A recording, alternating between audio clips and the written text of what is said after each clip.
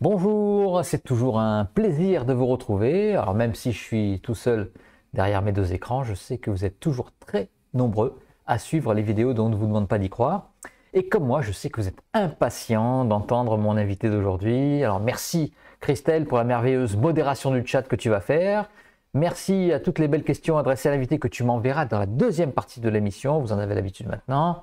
Alors l'histoire de l'invité est incroyable et il va nous le raconter. Nicolas Turban, bonjour et merci d'avoir accepté mon invitation. Bonjour, bon, bonjour à tous. Merci beaucoup Philippe de m'avoir invité. C'est un honneur. C'est partagé. Alors Nicolas, pour commencer, ben on va commencer par ton, ton enfance. Parle-nous de ton enfance et qu'est-ce qui t'est arrivé? Quel événement t'a marqué pendant ton enfance?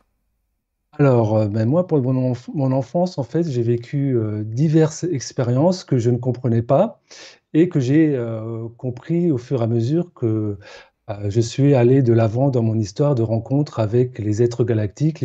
moi, je les appelle, voilà, soit les êtres galactiques ou alors les êtres des étoiles.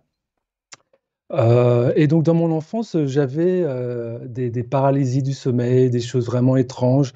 je faisais des rêves des rêves très, très bizarres liés à la peur, mais des rêves qui me paraissaient très réels. Et, mais euh, c'est vraiment très immersif, des choses très immersives. Euh, alors j'ai pris quelques notes parce que c'est ah vrai que dans son enfance, euh, c'est lointain quand même aussi, pour ne rien oublier. Et donc voilà, j'avais aussi, lors de, de, mon réveil, des visions d'être un peu petit avec une grosse tête, un peu comme, je sais pas si, on, comme on les voit dans les films, par exemple dans X-Files, euh, pour les personnes qui, qui, mmh connaissent. Voilà, ce type d'être, je, les voyais un peu comme, s'ils étaient imprégnés dans mon esprit, je les voyais un peu euh, sur les murs, euh, sur, enfin, sur le sol, et donc voilà, ça me paraissait bizarre. Tu avais quel âge là? Là, je, devais avoir 7-8 ans, quelque chose comme ça, dans les 6-7-8 ans. Et euh, alors bien sûr, euh, j'en parlais à mes parents et ma maman me disait: «Mais non, euh, t'as rêvé, t'as fait un cauchemar, t'as as trop regardé ci ou ça à la télé», mmh. des choses comme ça. Et plus tard, j'ai compris que, en fait, quand j'avais ce genre de phénomène, c'était lié à des abductions. Ah. Donc ouais. Donc les abductions, en fait, ce sont des, des des enlèvements, des kidnappings qui sont réalisés par des êtres euh, extraterrestres. Euh, alors, euh, je préciserai peut-être durant l'émission, il y a deux types d'êtres, hein, certains qui sont très bienveillants, d'autres qui sont malveillants, enfin malveillants entre guillemets, mais en tout cas tournés vers eux-mêmes dans le mmh négatif.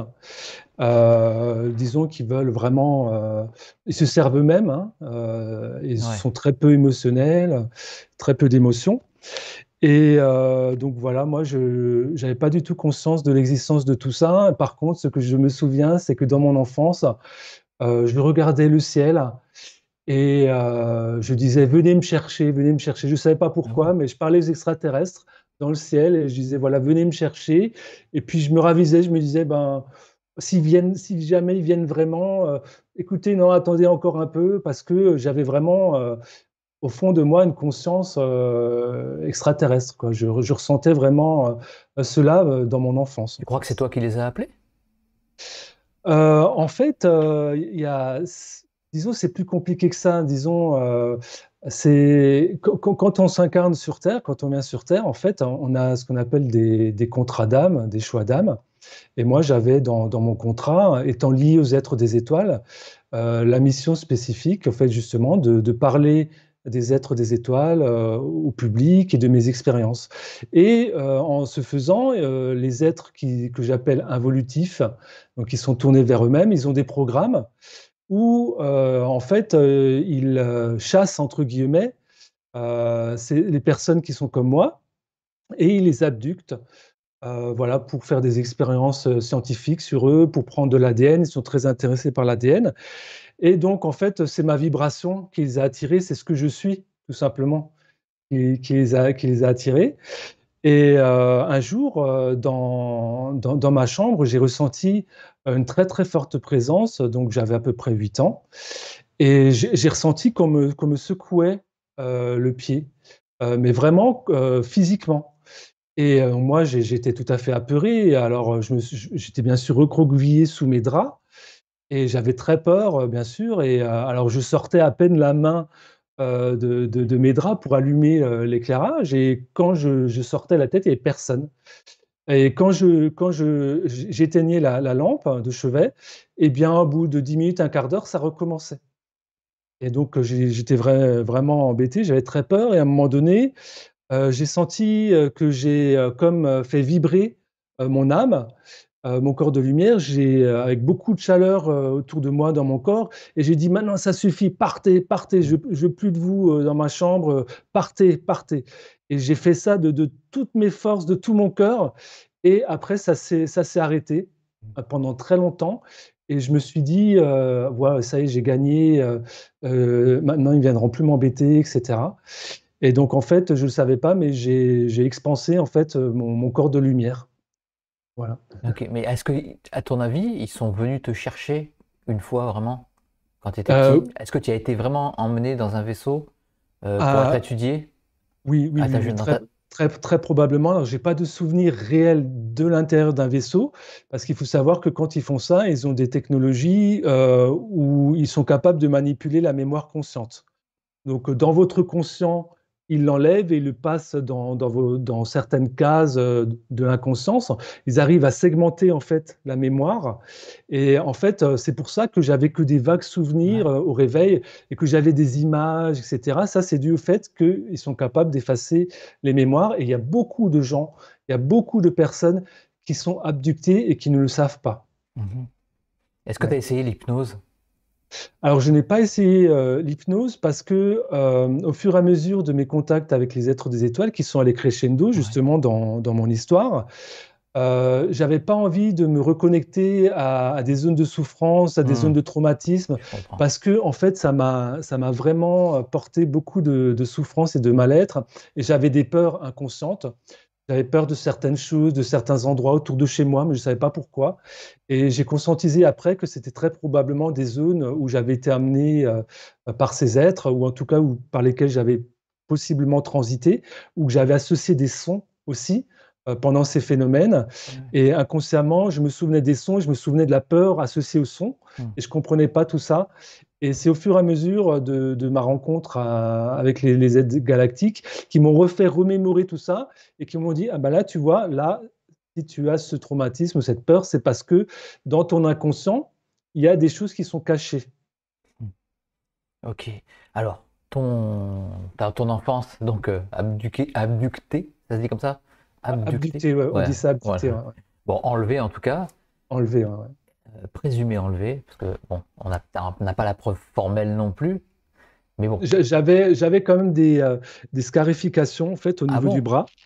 Oui, j'avais en fait des, ça s'est manifesté comme une sorte de deux trous en fait au niveau du bras et je ne sais pas du tout ce que c'était. C'était pas comme des, des boutons normaux entre guillemets. Euh, et ça, ça a mis des semaines à partir et ça m'a laissé des cicatrices. Et, justement, je ne faisais pas du tout, j'avais pas du tout fait à l'époque le, rapprochement. Ah mais en fait, c'est quand, quand, on est abducté, comme ils font des examens euh, physiologiques euh, sur nous, eh bien, ils sont amenés à nous faire euh, des piqûres, à nous faire passer des fluides dans le corps. Et donc, voilà, j'ai juste la seule preuve, entre guillemets, physique que j'ai, c'est cette cicatrice sur, sur, le bras. Et après ton adolescence, alors, elle se passe normalement? Alors, mon adolescence, euh, en fait, ça se passe tout à fait normalement. Euh, j'oublie un petit peu toutes ces histoires euh, enfantines, à tel point que, voilà, comme c'était lié à des choses pas très agréables, voilà, je les, je les, mets de côté. Alors, il se passe quand même certaines fois où j'ai quand même des paralysies du sommeil. Donc, parce qu'ils ont des techniques pour en fait nous, enfin, figer notre corps. Hein. c'est, ils figent en fait l'influx nerveux de notre corps pour pas qu'on puisse bouger et pour pouvoir justement nous emmener. Et donc j'ai eu quelquefois ça. Alors et puis associé à des rêves étranges, bizarres, glauques, euh, des choses pas très agréables. Et euh, voilà, je suppose que j'ai été encore abducté euh, dans, dans dire mon adolescence jusqu'à ma, jeunesse d'adulte, mais c'était très espacé. C'était euh, ponctuel comme ça, et voilà, mais c'était moindre que, que dans mon enfance. Il y avait des jours où tu te réveillais vraiment terrorisé, tu te demandais ce qui s'était passé parce que sans avoir le souvenir de l'abduction, est-ce que tu t'avais, tu te réveillais, tu disais oui, il s'est passé quelque chose cette nuit là, je suis pas bien. Ça, ça, ça m'est pas arrivé trop dans mon enfance, à part le fait que je sentais des présences oppressantes. Euh, enfin, moi, j'associais ça à l'époque euh, à mon imaginaire euh, d'humain, entre guillemets. je me disais, bon, bah voilà, c'est un démon, entre guillemets, ou mmh. un mauvais esprit. J'ai eu une attaque d'un mauvais esprit. Voilà. J'associais à des choses à laquelle je pouvais me raccrocher. Mais par contre, comme dit, voilà, j'ai pas de souvenir précis. Par contre, je sais qu'à chaque fois que je rentrais dans cette paralysie du sommeil, je me disais, oulala, là faut que je me défende, il va se passer quelque chose, etc. Et psychiquement, je me remémorais cet instant dans cette enfance où j'avais pu me libérer et je me disais non, maintenant euh, c'est moi qui, suis chef à bord et j'arrivais au bout d'un moment à, défaire cette paralysie du sommeil en fait. Ok, alors est-ce qu'à un moment tu as eu quand même un contact, même euh, pas médiumnique ou euh, voilà, est-ce qu'il y a eu un contact même télépathique avec avant avant, avant, avant le 13 au 14 juillet 2014, je parle? Alors, euh, il n'y a, jamais eu de contact télépathique avant euh, la nuit, euh, enfin, les, jours qui ont suivi la nuit du 13 au 14 juillet 2014. par contre, j'ai compris par après que j'étais guidé à certains moments à travers des sons dans mon oreille, ah où j'entendais des sifflements qui étaient très aigus.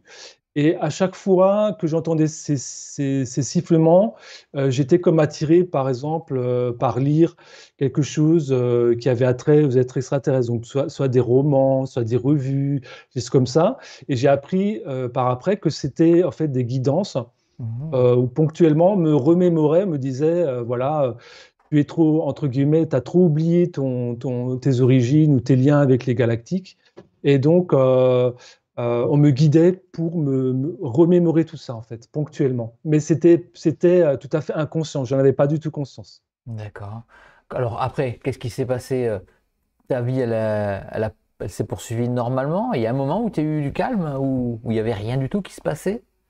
Oui, il y avait des moments effectivement où je, enfin la plupart du temps même, je vivais une vie tout à fait normale, à part certaines périodes où effectivement j'avais ces présences nocturnes qui, qui s'effaçait euh, rapidement, et puis euh, ces envies comme irrépressibles, on va dire, vraiment une attirance très forte pour tout ce qui était lié aux extraterrestres et euh, vraiment une envie de, connaître plein de choses, de lire plein de choses à, ce sujet. Mais voilà, c'était vraiment des périodes ponctuelles dans ma vie. Alors, est-ce qu'on en arrive au 13, la nuit du 13 au 14 juillet 2014 alors oui, effectivement. Alors, euh, juste un peu avant, euh, il faut savoir que justement, j'ai eu ces périodes où je m'intéressais beaucoup aux êtres des étoiles, de plus en plus, et j'étais comme euh, insatiable, comme si en fait un programme s'était mis en route en moi et qui me disait, tu as un lien avec les galactiques, tu as un lien avec les êtres des étoiles, il faut que tu en saches plus. Et c'était plus fort que moi. Je lisais donc des canalisations, je lisais des livres à ce sujet, euh, je regardais des émissions de personnes qui ont parlé, donc les grands contactés comme euh, Billy Meyer, et, voilà. Et en fait, euh, petit à petit, j'ai eu des, messages dans, dans, certains canaux que je disais, dans certaines canalisations, et où il y avait certaines phrases qui me paraissaient me, correspondre ou me répondre à certaines de mes interrogations. Alors bien entendu, moi j'étais dans le doute au niveau mental, on se posait des questions. Hein.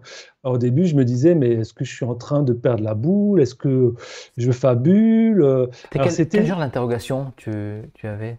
Eh bien, en fait, euh, je, lisais par exemple euh, différents euh, canaux, dire voilà, tel extraterrestre sont de telle étoile ou viennent de tel secteur, ont telle technologie. Et puis, je me disais, ah, ben, tiens, mais comment ça, ça marche? Ou c'est des choses toutes bêtes, ou alors c'était des choses que je vivais. Et après, je lisais quelques jours après dans le canal que j'avais l'habitude de lire une ou deux phrases, dire voilà, si vous vivez ça, ah euh, euh, ça peut avoir telle signification. Et puis je disais, mais c'est ce que j'ai vécu. Alors bien sûr, euh, moi je ne croyais pas à tout ça au début. Hein. J'étais vraiment dans le déni. j'étais dans le déni complet, j'étais dans, dans vraiment, j'avais aucune conscience de, de l'existence de, de, de, tous ces êtres des étoiles. Et petit à petit, euh, c'est venu de plus en plus conscient, de plus en plus fréquent. J'avais de plus en plus euh, envie de lire euh, ce, ce, type de matériel, jusqu'au point où j'ai fait des rêves, des rêves, ce qu'on appelle, ce sont des rêves préparatoires, et ce sont des rêves lucides. Euh, donc euh, notamment un qui était euh, vraiment très parlant où donc j'arrivais en fait dans une salle où cette salle me semblait être une sorte de lieu de convivialité où je sais qu'il y avait quatre hommes entre guillemets quatre êtres masculins à ma gauche qui, qui, me, qui me regardaient, qui regardaient la scène et moi je suis allé vers quatre êtres féminins qui étaient à ma droite. Et finalement, j'ai eu des interactions, donc je pouvais interagir dans le rêve. Mmh, euh, donc c'était dans, une sorte de un rêve astralisé. Hein. Je pouvais interagir dans le rêve avec l'être extraterrestre. Moi, d'abord, j'avais, je pensais que c'était des êtres de l'intraterre. Mmh et, qui étaient en contact avec moi. Et il y en a même une personne, je me souviens, parce qu'elles étaient très attirantes. Et euh, il y a une, une, des personnes où j'ai voulu lui faire la bise. Euh, voilà, euh, parce que j'étais attiré par, par ce qu'elle émanait, ce qu'elle rayonnait. Et puis elle a eu un mouvement de recul comme ça, parce que c'est parce que c'est pas dans c'est pas dans ses euh, dans ses, dans ses coutumes. Et alors finalement, mais comme elle s'est pas trop reculée, j'ai quand même réussi à, à, faire la, la, bise, voilà. Et puis, voilà. et après, ça, ça s'est terminé. Mais en fait, j'ai compris, c'est arrivé trois semaines avant, trois, quatre semaines avant la, nuit du 13 au 14 juillet, où euh, finalement j'ai croisé donc ces êtres, cet être des étoiles. Euh, donc là, je, je peux raconter l'histoire. Alors vas-y, c'est parti. c'est parti. Donc, la nuit du 13 euh, au 14 juillet. alors effectivement, j'avais vraiment une... Je ressentais intérieurement que je devais aller seul, en tout cas pas accompagné de ma famille, euh, à, ce, feu d'artifice. Hein, j'y suis allé, j'avais vraiment envie d'y aller. Je, comme je ressentais qu'il, comme s'il allait se passer quelque chose, en fait. Intuitivement, je, me, je, sentais qu'il y avait peut-être quelque chose qui allait se produire. Donc, je suis allé sur ce feu d'artifice. Euh, je me souviens que pendant le feu d'artifice, je regardais dans le ciel, je me disais, est-ce que je vais voir des vaisseaux euh, hum. Est-ce que je vais voir quelque chose? Alors, j'ai rien vu. par contre, après le feu d'artifice, je suis resté un petit peu avec un ami. J'étais avec mon ami un, ami euh, et euh, euh, que j'ai un peu perdu de vue depuis. Et vers minuit, minuit et demi, donc dans la nuit du 13 au 14 juillet, après le feu d'artifice, on, rentre, on rentre donc pour retourner aux voitures. Et donc il y avait une grande allée comme ça, et qui, où il y avait des, donc des arbres à ma gauche, des lampadaires à ma droite. Donc il y avait certains intervalles, certains interstices qui étaient éclairés et d'autres qui mmh. étaient un peu plus dans la pénombre, mais on, bon, on voyait quand même hein, avec, euh, avec l'éclairage euh, public. Et euh, je marche, j'étais donc mon collègue était à ma droite, je marche, on était en train de discuter. Et d'un seul coup, je vois surgir justement d'une zone un peu plus de pénombre, entre guillemets, un être qui, qui marchait très vite et qui avait, qui semblait fendre l'air en fait. Qui, avait, qui semblait comme, comme quelqu'un qui est plus léger que l'air, je ne sais pas comment expliquer ça, qui, qui fendait l'air en fait. Très, très rapide, très léger, qui avait une démarche très vive, très euh, énergique. Et euh, cet être, euh, elle arrive à côté de moi, main droite, et elle me regarde les yeux dans les yeux, et elle me dit bonsoir, comme ça. Et elle me sourit, et en me souriant, elle, elle ne me montre pas de dents. Donc mmh. c'était un sourire sans, sans, pas, pas à pleines dents, un sourire juste avec les lèvres. Euh, et, donc, elle continue derrière moi. Et moi, j'étais, j'étais toute euh, étonnée. Mmh. Et alors, je dis euh, bonsoir. mon collègue aussi me dit bonsoir. il lui dit bonsoir. Et on, continue, on marche encore quelques pas. Et d'un seul coup, ça fait tilt. Je dis, mais cet être n'est pas humain. elle avait vraiment un visage humain, mais étrange. Pas, pas, comme un, pas un, visage qu'on voit euh, couramment, j'ai envie de dire. On a le portrait robot qui est juste euh, à ta gauche. Oui, ben, euh, si, tu veux, après, tu, tu pourras le, montrer. Oui, je, je, le montre en même temps. Voilà, tu ah, d'accord, ok. Donc ça, c'est un portrait robot, donc approximatif. donc, elle, elle, a, le nez était plus fin, plus joli. Par contre, elle avait des, des lèvres très fines comme ça, très, très grande. Elle avait des, des petits yeux marrons un petit peu. Euh, c'est ce que j'ai vu dans, au, niveau de, de on s'est croisé au niveau de, de cette zone d'éclairage. Et euh, les cheveux n'étaient pas tout à fait comme ça, ils étaient plus relâchés sur le bas et ils, vir, ils virevoltaient comme ça dans l'air. Mmh. Comme, euh, je sais pas, c'est vraiment une sensation étrange. Comme si, pareil, ouais, un être qui est plus léger que l'air, en fait, qui, qui virevolte, comme si on marche un peu au-dessus du sol. Je sais pas comment expliquer ça. Un, peu comme dans Mars Attack, euh, je sais pas si, je suppose que tu l'as vu. Tu te souviens, ah euh, tu vois, c'est la, la, la, fille, alors je sais plus trop quel personnage c'est, elle, elle glisse sur, sur le sol. D'accord, bah, c'est peut-être un peu, oui, c'est peut-être un peu ça. Je me j'ai vu le film, mais euh, c'est très lointain.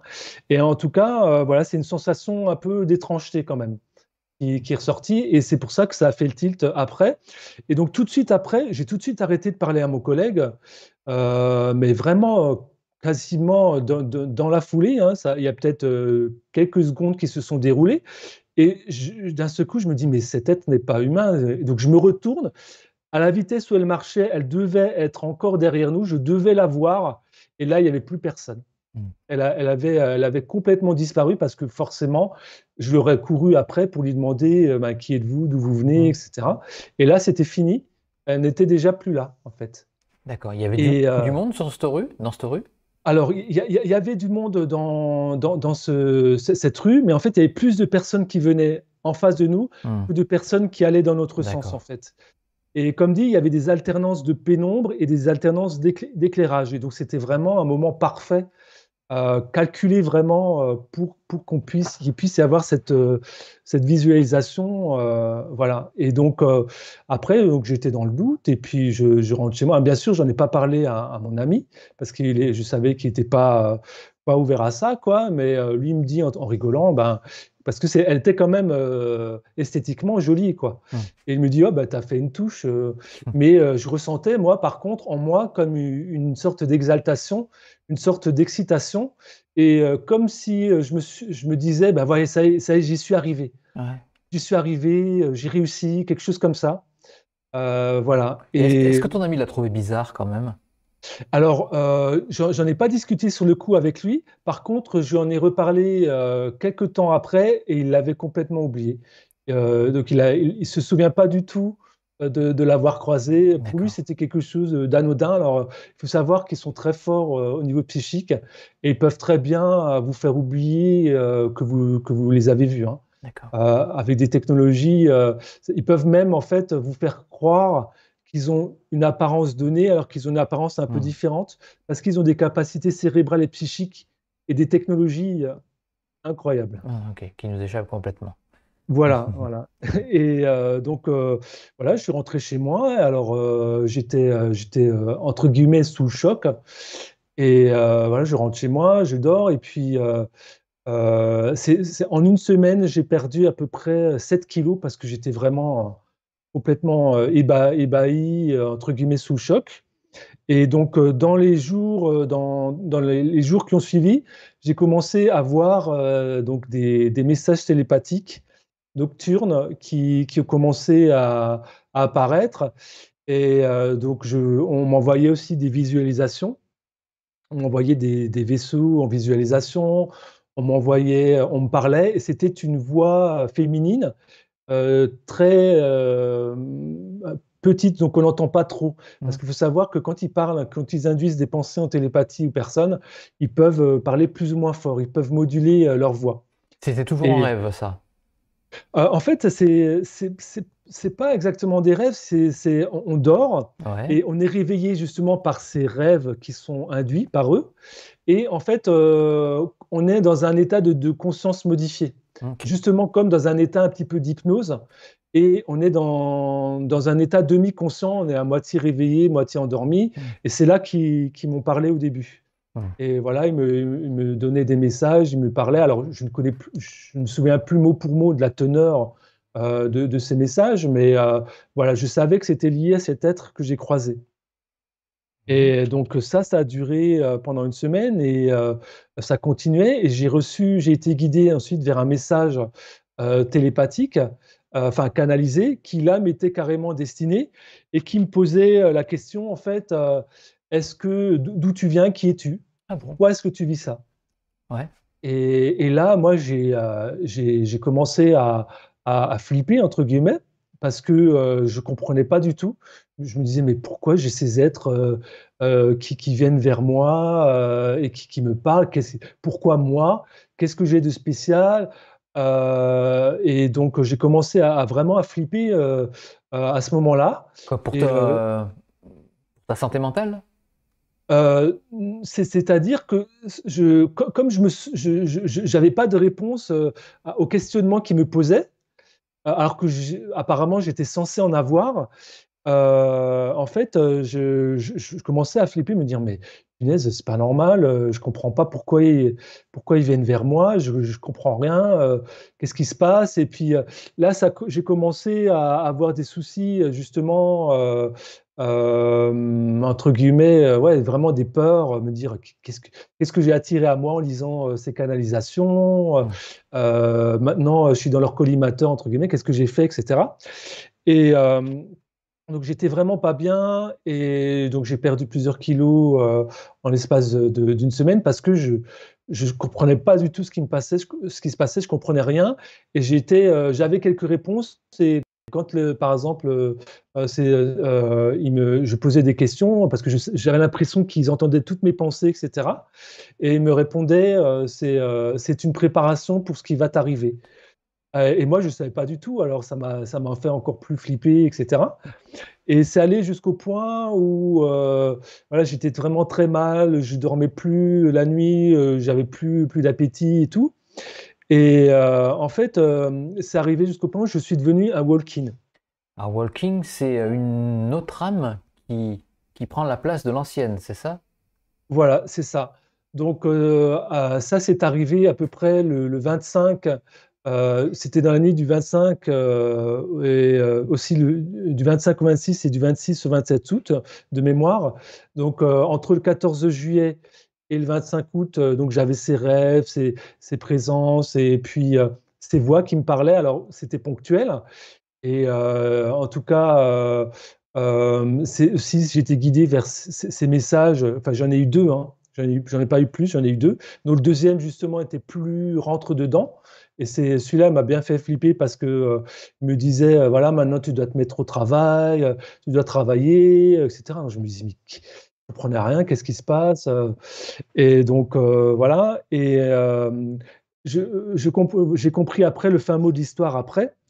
Euh, et donc, le, dans, dans la nuit du, du 25 au 26, j'ai ressenti tout mon corps vibrer très fortement. Et en fait, j'ai senti comme si voilà, il y avait quelque chose, un téléchargement qui se passait au niveau de ma glande pinéale dans ma tête, comme une sorte de décharge d'énergie, euh, etc. Et en fait, c'est euh, mon corps de lumière qui est passé par là, qui est passé à travers mon corps pour aller sur d'autres plans.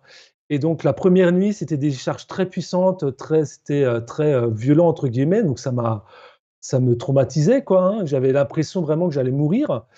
Et ensuite, la, deuxième fois, donc la deuxième nuit, avant de, de, de partir totalement, euh, j'ai senti que c'est mon âme donc euh, a appelé, a dit voilà, je t'invite euh, maintenant dans ce corps, etc. Et donc il y a une âme entrante qui est arrivée dans mon corps et j'ai senti que voilà, l'être après il s'est extrait totalement par la glande, la glande pituitaire. ah, Et donc euh, voilà, après bon moi j'avais vraiment l'impression euh, j'ai eu donc j'ai vécu mon deuil en fait en étant euh, vivant. Alors euh, j'ai euh, voilà, je j'en ai pleuré pendant des semaines, euh, je me disais ça y est, je suis mort. en tout cas l'être que j'étais n'est plus incarné dans ce corps. J'ai eu beaucoup de, traumatismes à soigner et puis j'ai eu beaucoup d'aides c'est là que j'ai commencé à avoir des aides plus puissantes avec des aides énergétiques.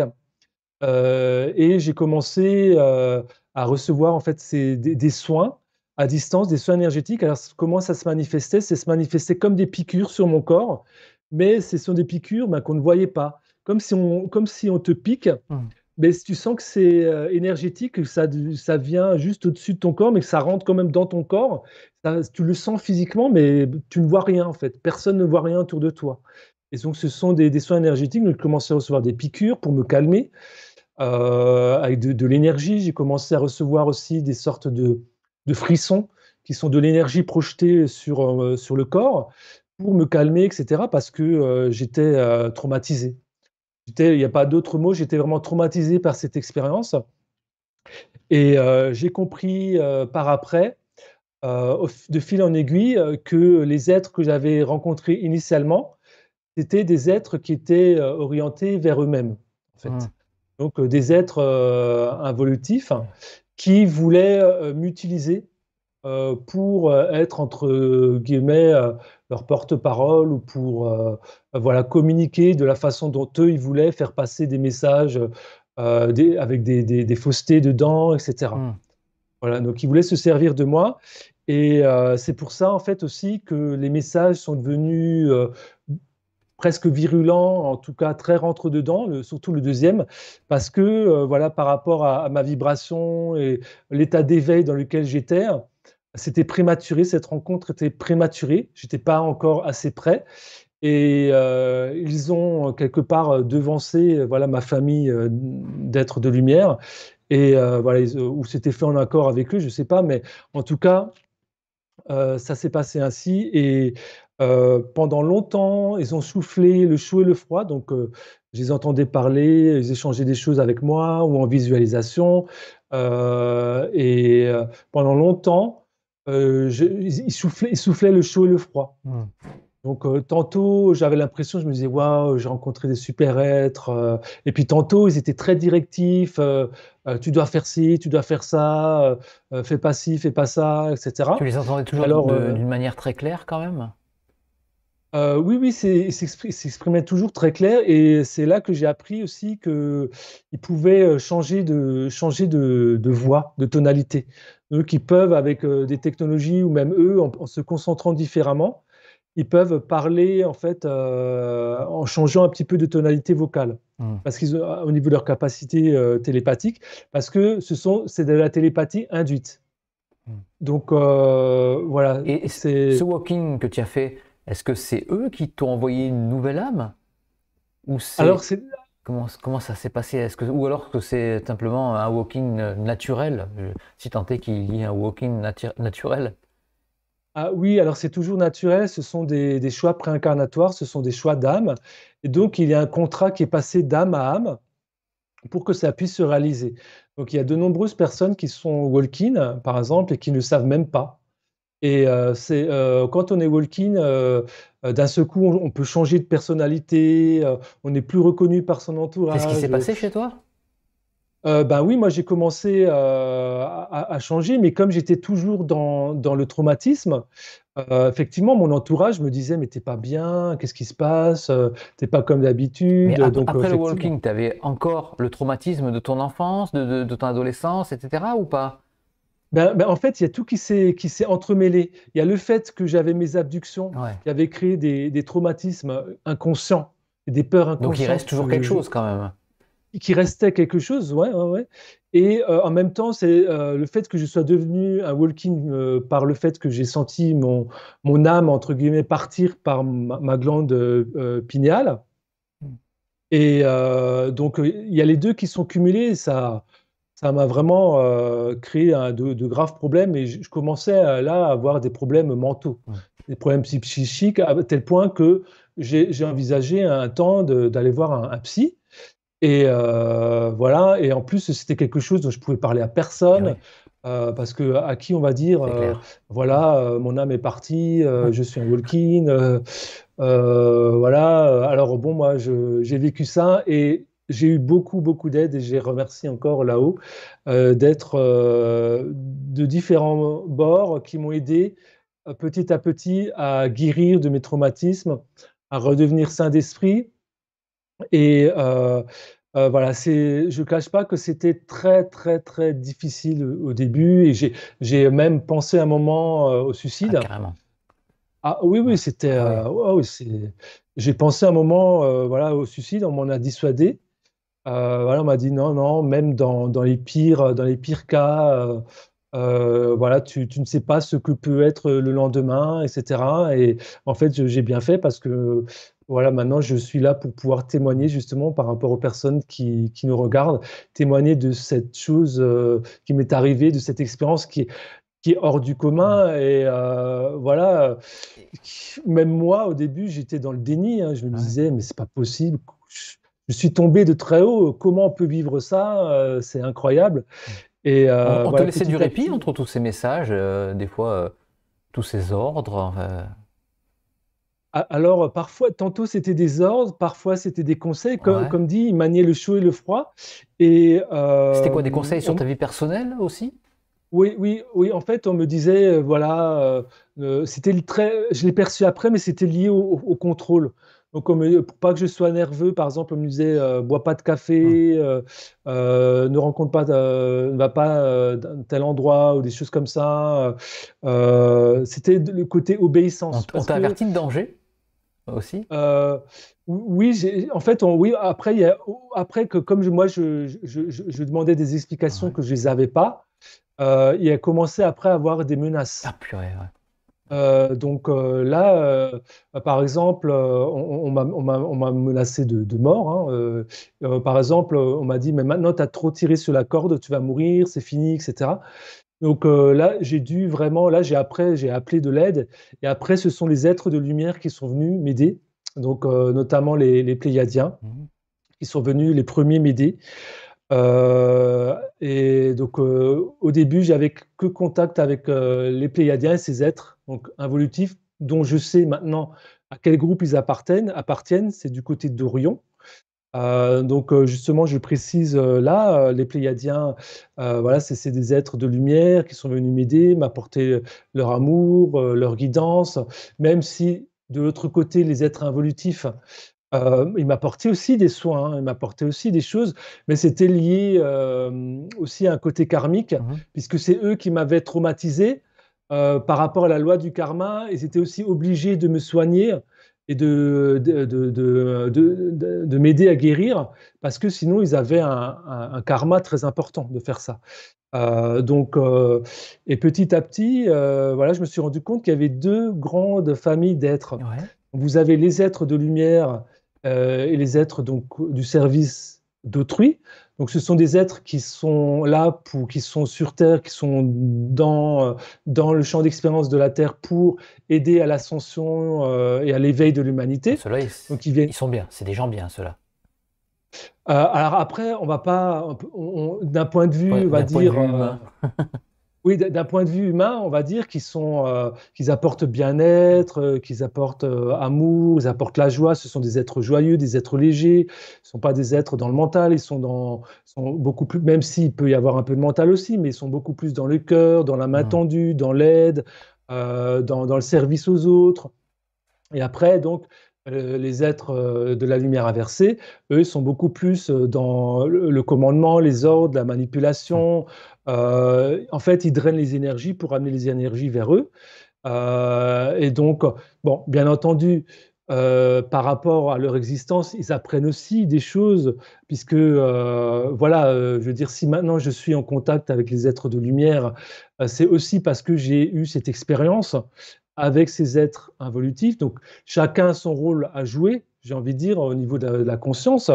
mais par contre, c'est vrai que c'est on va dire, euh, nettement plus euh, agréable de rencontrer, bien sûr, des, êtres de lumière, des êtres euh, voilà, qui nous apportent leur amour. Au niveau de c'est tout à fait différent. alors, les êtres involutifs, ils ont une tendance, moi je les ressens comme froids. Donc, mmh. on sent que voilà, ils ont le cœur qui est fermé à plus ou moins grande échelle, de façon plus ou moins importantes. Euh, ils sont très dans les technologies. Euh, ils sont très dans le contrôle sur les autres. Ils veulent contrôler, se servir des autres, euh, envoyer des faussetés, faire dire des faussetés aux gens, des choses vraiment très négatives. Hein, c'est leur nature. Enfin, c'est leur nature en tant que ceux qu'ils sont dans, ce qu'ils font. Hein. Mmh même si au-delà de tout ça, on est tous des, consciences, bien sûr, qui, qui sont incarnées. Tandis que voilà, les êtres de lumière, eux, ils veulent nous aider à expanser euh, notre conscience, ils veulent, voilà, justement, nous aider à prendre connaissance de tous ces phénomènes extraterrestres, nous aider à comprendre les abductions, pourquoi ça se passe. Mmh. Donc, ce sont des contrats d'âme. Donc, si je me suis fait abducter, c'est parce que voilà, j'avais des contrats dans, dans certaines vies, voilà, où j'ai fait des choses qui étaient peut-être pas lumineuses, euh, et en retour, voilà, j'ai eu droit, euh, entre guillemets, à me faire abducter euh, par les êtres du service de soi. Donc, quand je dis service de soi, c'est quoi? Service de soi. Voilà. Donc, il y a deux catégories. c'est le service de soi. donc, ce sont des groupes qui se servent eux-mêmes. Ouais, ah, d'accord. C'est ceux qu'on appelle les êtres involutifs. Et il y a les êtres donc de service d'autrui. Mmh donc ils servent les autres. Eux, ce sont les êtres évolutifs, ce sont les êtres qui peuvent aller même jusqu'au côté angélique et christique, puisque ultérieurement, j'en ai côtoyé. en tout cas, j'en ai ressenti. Eux, ils, ont, ils ont une philosophie, une éthique, euh, une spiritualité? Voilà, ils ont une philosophie et sont pas des êtres qui, euh, justement, contrairement euh, à ce que j'avais vécu au début, ce sont pas des êtres qui vont venir et qui vont dire, en tout cas, moi, pour moi, ça s'est pas passé comme ça et qui, ça se passe pas comme ça pour eux parce qu'ils vont pas venir et vous, et vous dire, voilà, la vie, c'est comme ça, comme ça, comme ça, donc euh, vous êtes ci, ça, comme ci, comme ça. Non, c'était que des apprentissages indirects. Mmh. Et par exemple, quand je leur posais une question, ils me faisaient vivre une expérience et euh, c'était à moi de, faire ma compréhension sur l'expérience que je vivais pour comprendre ce que j'étais et euh, pour comprendre aussi pourquoi je vivais ces interactions avec les êtres des étoiles. Et donc, ils répondent pas forcément. Euh, euh, moi, ils m'ont jamais trop répondu directement, mais c'était plus indirect. Bon, sur certains points, ça peut être direct, mais moi, c'était plus. Ils m'ont plus répondu par l'expérience, de façon à respecter mon libre arbitre et ce que je me fasse ma propre idée. Donc, c'était tout à fait respectueux de, mon chemin de vie pour que je puisse apprendre, voilà, à, comprendre qu'est-ce que c'est un être des étoiles, comment ils vivent, comment, euh, quelles, sont leurs perceptions, euh, euh, quelles sont leurs capacités, qu'est-ce qu'ils veulent apporter à l'humanité, en quoi ils sont en contact avec l'humanité, depuis quand, etc. justement, depuis quand ils sont en contact avec l'humanité? Est-ce que les gouvernements sont au courant? Alors ça, c'est une très bonne question. Alors, il faut savoir qu'ils ont précédé l'humanité. Euh, telle qu'on la connaît, ils étaient là déjà avant sur Terre, parce que ce sont des civilisations dont certaines ont des millions, des dizaines de millions d'années, voire plus, enfin, entre guillemets, parce que le temps, euh, tel que nous on le perçoit, c'est n'est euh, pas vraiment la réalité, hein, puisque eux, ce sont des voyageurs du temps, par exemple, ils voyagent dans le temps, et euh, donc, ils étaient déjà là, il y a, des millions d'années, il y avait déjà des présences extraterrestres, notamment dans des civilisations avancées, telles que la Lémurie, mmh. telles que l'Atlantide, euh, ou alors d'autres expériences, euh, comme du côté de l'Inde des Ramas, par exemple, d'autres civilisations, dans le désert de Gobi aussi, voilà. Et finalement, au fur et à mesure que de l'émergence de l'humanité, certains groupes sont allés dans l'intra-terre, la, dans donc, euh, ce qu'on appelle la terre creuse, mais ça ne veut pas dire qu'elle est creuse totalement, mais il y a des grandes cavités dans la terre où ils ont des points de présence, donc des bases, si vous voulez, avec euh, euh, voilà, des, des, points où ils peuvent des, partir en vaisseau, des zones où ils peuvent être, des zones où ils peuvent séjourner, avec, qui correspondent à leur fréquence, donc ils ont des très hautes fréquences de, de lumière, et d'autres sont partis et euh, voilà, donc il y a, deux, ces, deux différents groupes, les êtres euh, de l'enfermement qui sont à la fois involutifs, puisqu'ils ils veulent s'accaparer euh, l'humanité pour eux, entre guillemets, et à la fois un aspect évolutif en ce sens qu'ils nous, par leur présence, ils nous apprennent aussi l'existence des êtres extraterrestres, des êtres des étoiles, et en résonance ce que nous on est aussi, parce qu'on a, on a des liens aussi, nous, euh, l'humanité, avec euh, les, étoiles, les des étoiles. Et après, de l'autre côté, il y a également euh, dans, dans l'intraterre donc des présences bienveillantes, donc des Pléiadiens, des Suriusiens, des, anciens Atlantes, des anciennes civilisations comme les Mayas aussi. voilà, donc les, les, deux groupes sont là, sont présents. Et, chacun euh, voilà, aide l'humanité, entre guillemets, euh, à sa façon, les uns en étant des catalyseurs évolutionnaires, euh, donc les êtres qui sont tournés vers eux-mêmes, et les, autres en étant des catalyseurs évolutionnaires, des accompagnants euh, des guides à l'élévation de notre conscience et de, de, ce que nous, de ce qu'on est vraiment en réalité. Et ces êtres involutifs, si vraiment ils avaient envie d'avoir le contrôle total sur nous avec la technologie qu'ils ont, enfin ils sont là depuis des millions d'années, est-ce que ça serait pas facile pour eux si vraiment ils voulaient nous avoir en total esclavage? Je ne sais pas quelles sont vraiment leurs intentions, à, quel point ils veulent, ils veulent nous contrôler. Euh, Alors, on est, ça c'est une question intéressante. On est déjà dans ce type de, de, société parce que tout est inversé, tout est manipulé. Euh, ils ont, alors, ils ont différentes technologies très puissantes euh, ou euh, même holographiques. Ils ont des technologies énergétiques.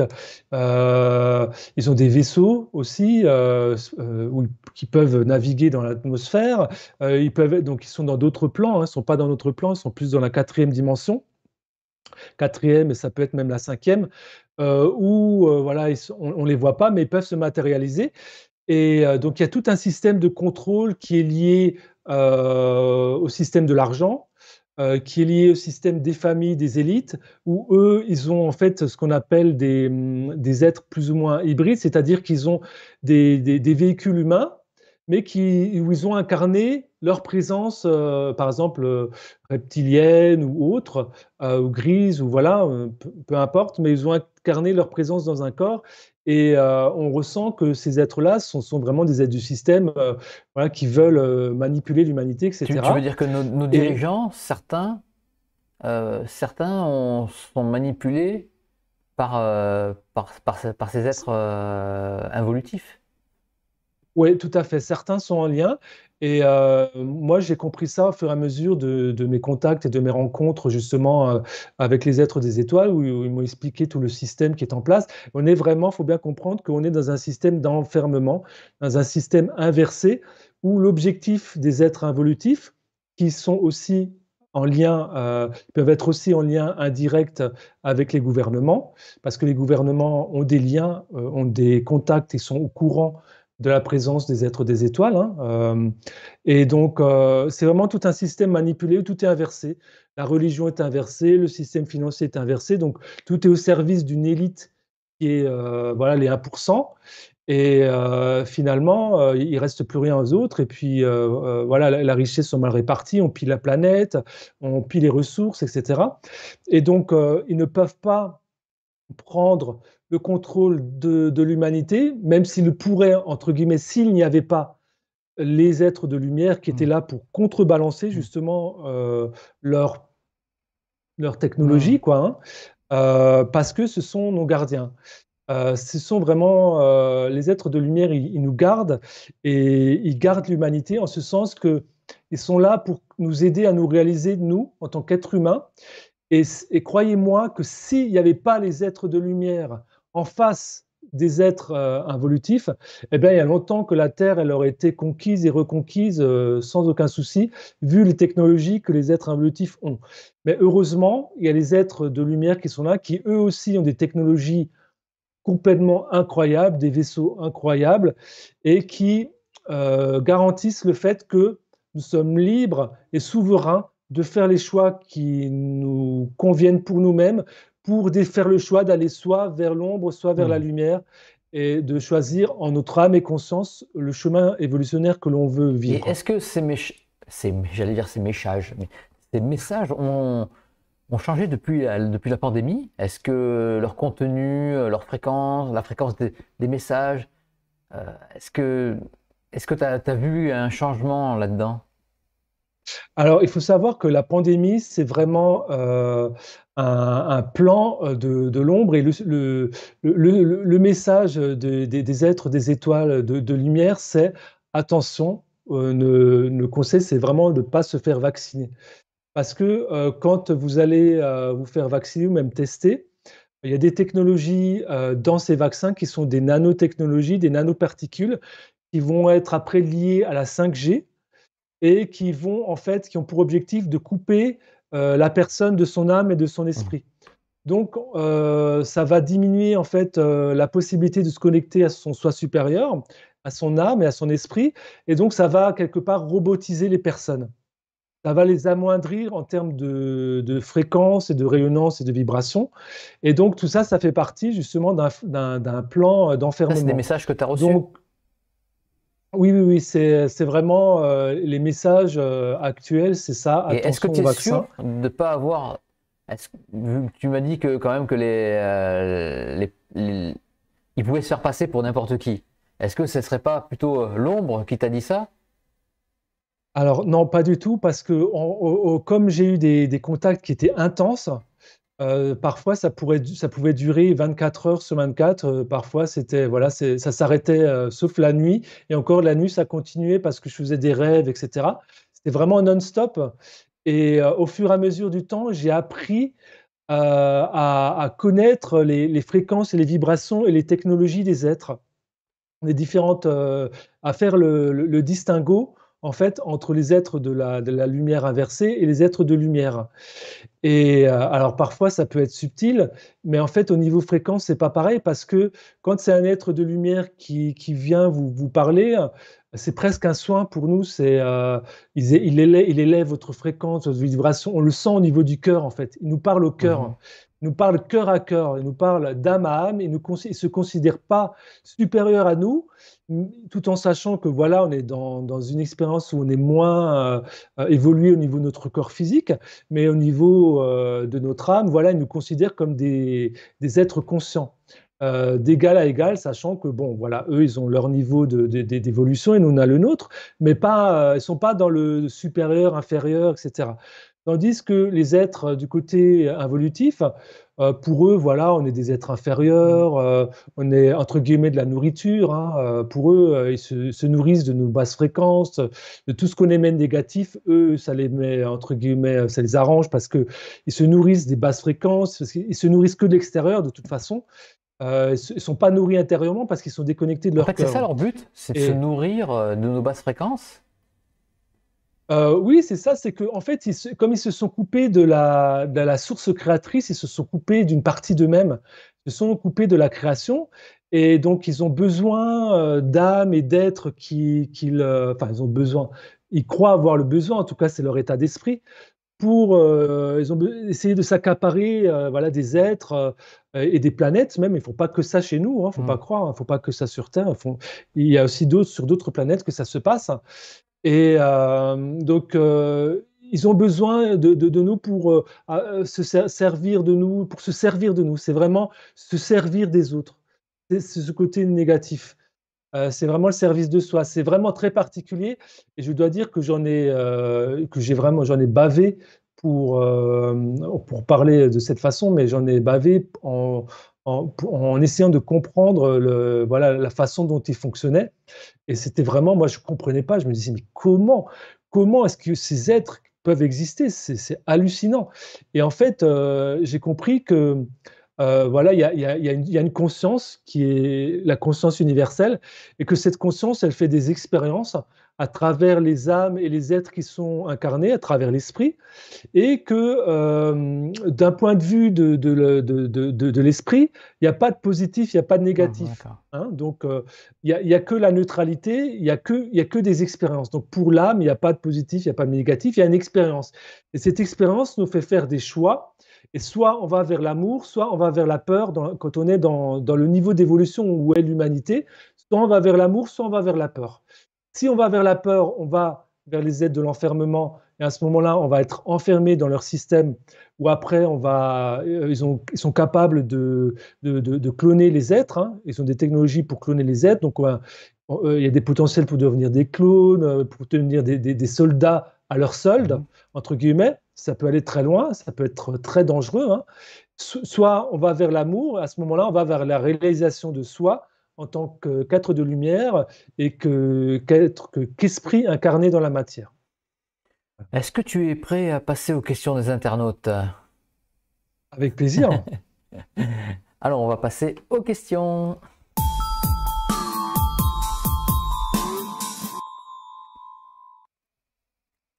Et il y en a beaucoup.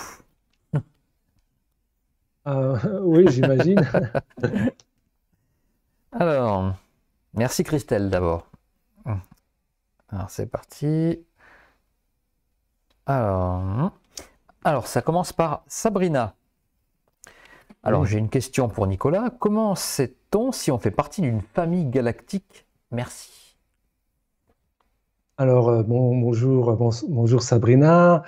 Euh, donc, comment on sait? En fait, c'est vraiment un ressenti intérieur, un ressenti profond du cœur. Euh, c'est vraiment en allant en soi, en allant dans son cœur, par exemple, dans le silence, on peut faire des, méditations du silence, et en se posant la question euh, presque à soi-même, parce qu'on le sait déjà. Et d'autre part, il faut savoir que euh, on, a tous des familles d'âmes. Hein. on, vient tous d'une famille d'âmes et en fait, euh, on coévolue avec les familles d'âmes et on, joue un rôle par rapport aux autres soi, voilà, aux autres soi, parce qu'il y a le soi, les autres soi, puisqu'on est tous issus de la même source. Et euh, donc moi, ce que je conseille à Sabrina, c'est euh, de se poser la question à elle-même, d'aller en elle, en son cœur, dans le silence, et voilà, de, se reconnecter à, ce qu'elle est elle-même en tant qu'âme, en tant qu'esprit incarné. Et, c'est d'abord en se reconnectant à elle-même, à ce qu'elle est, qu'elle va pouvoir après aller vers les, bonnes personnes dont elle a besoin, les personnes lumineuses qui sont de sa famille d'âme, et qu'elle va vivre euh, les, expériences dont elle a besoin pour évoluer. Euh, et donc euh, voilà, sinon on, est tous issus d'une famille d'âmes. Il faut savoir qu'on a, nos chakras, donc sont dans le corps, mais on a aussi des chakras extracorporels. Et on a le chakra qui est le chakra qu'on appelle l'étoile de l'âme. Et dans le chakra étoile de l'âme, on a le soi supérieur et on a notre famille d'âme qui, qui, est, dans, ce, dans, ce, dans cet espace vibratoire. Ok, euh, c'est moi qui vais te poser une question là. Est-ce que tu as rencontré des personnes qui avaient vécu euh, les mêmes genres d'expériences que toi? Alors oui, euh, je les ai rencontrés pas physiquement, mais notamment une personne qui s'appelle David Rousseau. Mhm. Pour ceux qui connaissent. Donc lui, David Rousseau, c'est aussi un walking comme moi. Euh, donc où il y a une âme entrante, où il y a un contrat d'âme entre une âme entrante et une âme sortante. Donc ce sont toujours en fait des, c'est toujours des leçons de l'amour, hein, mmh. qui c'est lié à l'amour et à la reconnaissance de l'amour. Euh, c'est quand il se passe quelque chose. Et donc lui, il a également euh, rencontré ben, dans son enfance, lui, c'est, ça s'est passé physiquement dans son enfance, où il a rencontré un être des étoiles, un, être donc des Pléiades, un être bleu des Pléiades. Euh, qui sont des êtres, euh, une race ancienne des Pléiades, des êtres très évolués, très bienveillants dans, l'amour et la lumière. Et ensuite, il est allé dans leur vaisseau et il, a, il les a rencontrés, mmh. euh, même physiquement. Voilà. Donc, et petit à petit, quand j'ai commencé à parler voilà, de mon expérience euh, en privé hein, avec des personnes voilà sur Facebook etc je me suis rendu compte que j'étais loin d'être le seul euh, le mmh. seul. Et il y a beaucoup d'êtres bien sûr qui sont en contact avec euh, des êtres des étoiles. Mais ça reste en catimini c'est les gens n'osent pas trop en parler non plus voilà, c'est ça. C'est que on n'ose pas, les, êtres n'osent pas trop en parler. Et puis moi-même, au niveau de ma famille, voilà, quand ils ont appris que j'en parlais ouvertement, mmh. publiquement, euh, voilà, en fait, c'est surtout ma maman qui l'a su. Euh, voilà, ça, ça s'est passé, euh, ça a été un peu un accouchement, quoi, un coming out, hein, j'ai envie de dire. Hein. On continue avec Chris. Pense-t-il qu'il va donc penses-tu que tu sois toi-même un extraterrestre? Alors c'est pas c'est pas comme ça que, que je m'envisage. En fait, euh, je me considère euh, en, tant qu'être incarné, je me considère comme un esprit, une âme incarnée euh, en tant qu'être humain dans cet ici maintenant, mais j'ai parfaitement conscience que euh, des parts de moi sont, euh, au-delà de l'espace-temps, parce que l'espace-temps tel que nous on perçoit les galactiques, nous me l'ont bien dit, hein, c'est une illusion, c'est une perception de linéarité du temps, de l'espace-temps, mais en fait tout se passe dans l'instant présent, tout est simultané. J'ai eu reconnecté avec d'autres êtres qui, eux, sont extraterrestres en ce sens qu'ils ne sont pas humains, mais je sais qu'ils sont des parts de mon âme, des parts de ma conscience, et que ce sont des parts, des parts de moi. Hmm. Mais ils sont eux, et je suis moi. Mais je sais qu'au niveau de, de, mon esprit, on est, on est lié au même esprit et au même groupe d'âme, en fait. Donc euh, je, voilà, je me considère pas, euh, je suis, je suis ce que je suis en fait. Voilà, ok, on continue avec Zulgar. savez-vous reconnaître l'origine stellaire des starseeds que vous rencontrez? Alors, ça m'arrive très fréquemment euh, parce que euh, donc de fil en aiguille, j'ai commencé à avoir des contacts d'abord avec les Pléiadiens, après avec les Cyrurgiens, les Andromédiens et finalement les Lyriens, les Végaliens. Et je me suis rendu compte que l'univers est habité partout. À peu près quand on regarde le ciel étoilé, vous regardez à peu près n'importe quelle étoile, il y a une civilisation. Alors après, quand je dis ça, ça ne veut pas dire que c'est dans notre fréquence à nous. Hein.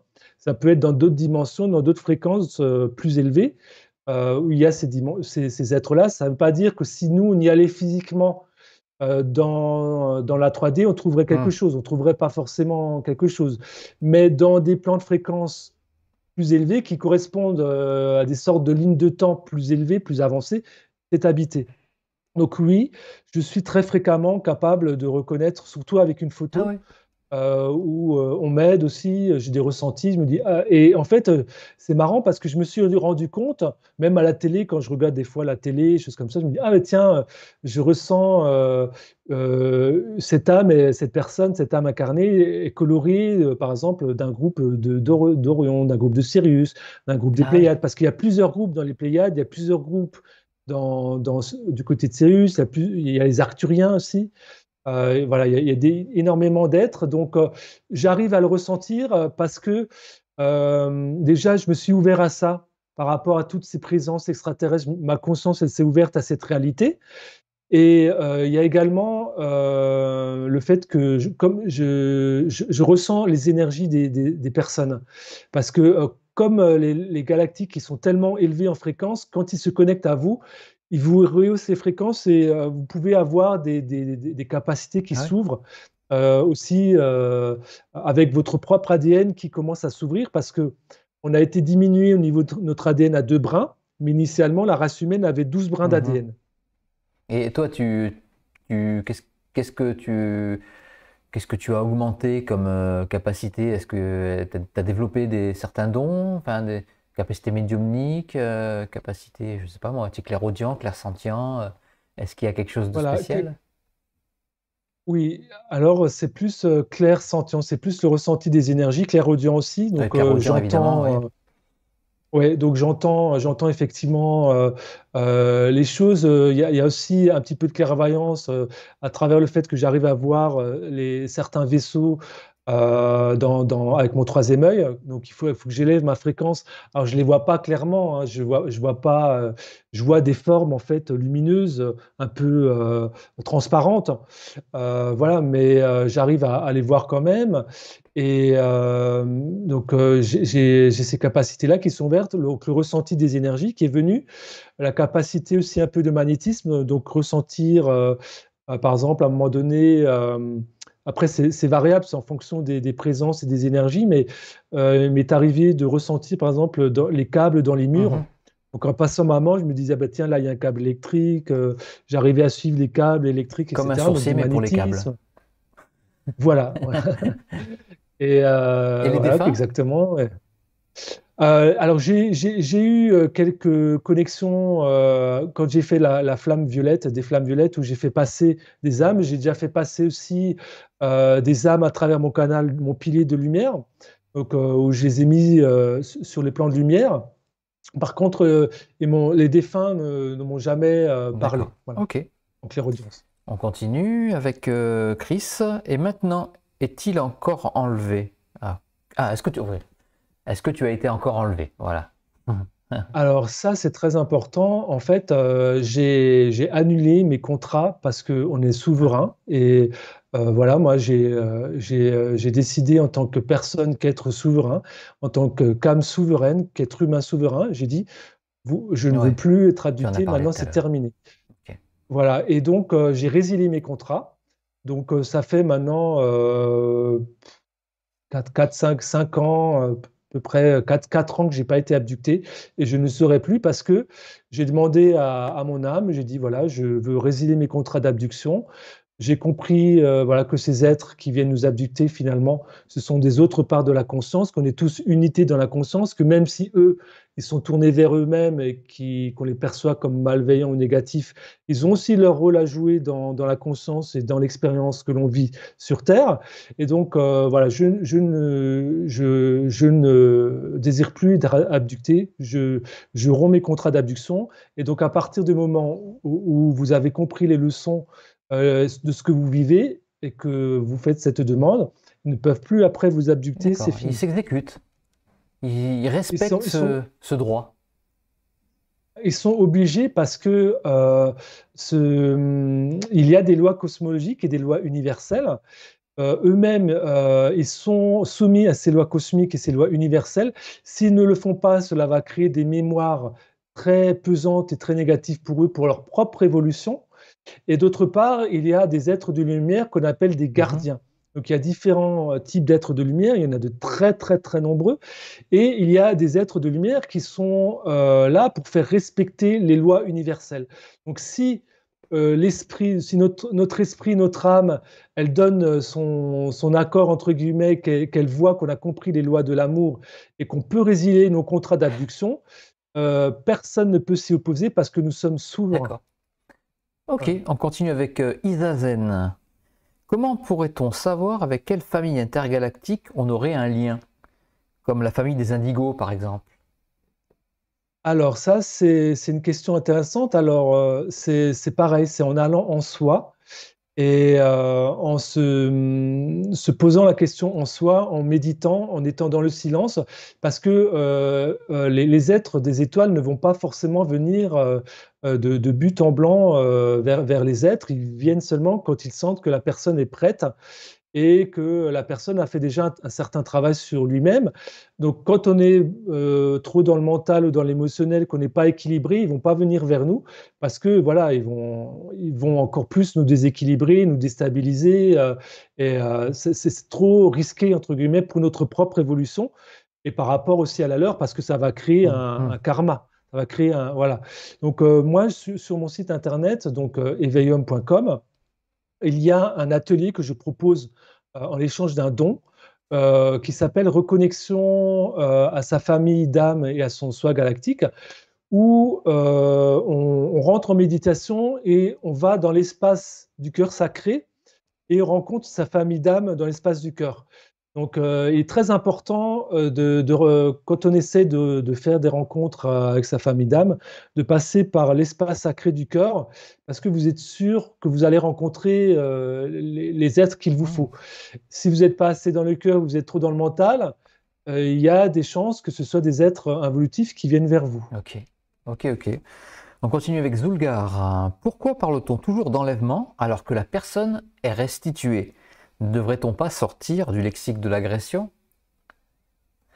Alors oui, c'est pour ça qu'on parle d'abduction. Euh, la personne est restituée, mais après, il faut savoir que dans certains cas, ça peut donner lieu à des, à, des choses au niveau de la santé. Hein. Il, y a des, personnes euh, euh, qui peuvent devenir stériles, ah qui peuvent avoir certaines maladies. Oui, ça peut. voilà. Donc, c'est pas pas quelque chose euh, d'anodin, c'est vraiment une expérience euh, puissante qu'on a fait euh, en choix d'âme. Alors moi, j'en parle de façon neutre, sachant que j'ai guéri de tout ça. Mais bon, c'était pas une sinécure, c'était c'était très difficile, c'était traumatique. mais d'un autre côté, ça m'a appris à aller à travailler sur mes peurs, à aller au-delà de mes peurs pour pouvoir après rencontrer des êtres plus évolués. Mmh. Euh, qui se sont reconnus dans leur amour et dans, leur, lumière.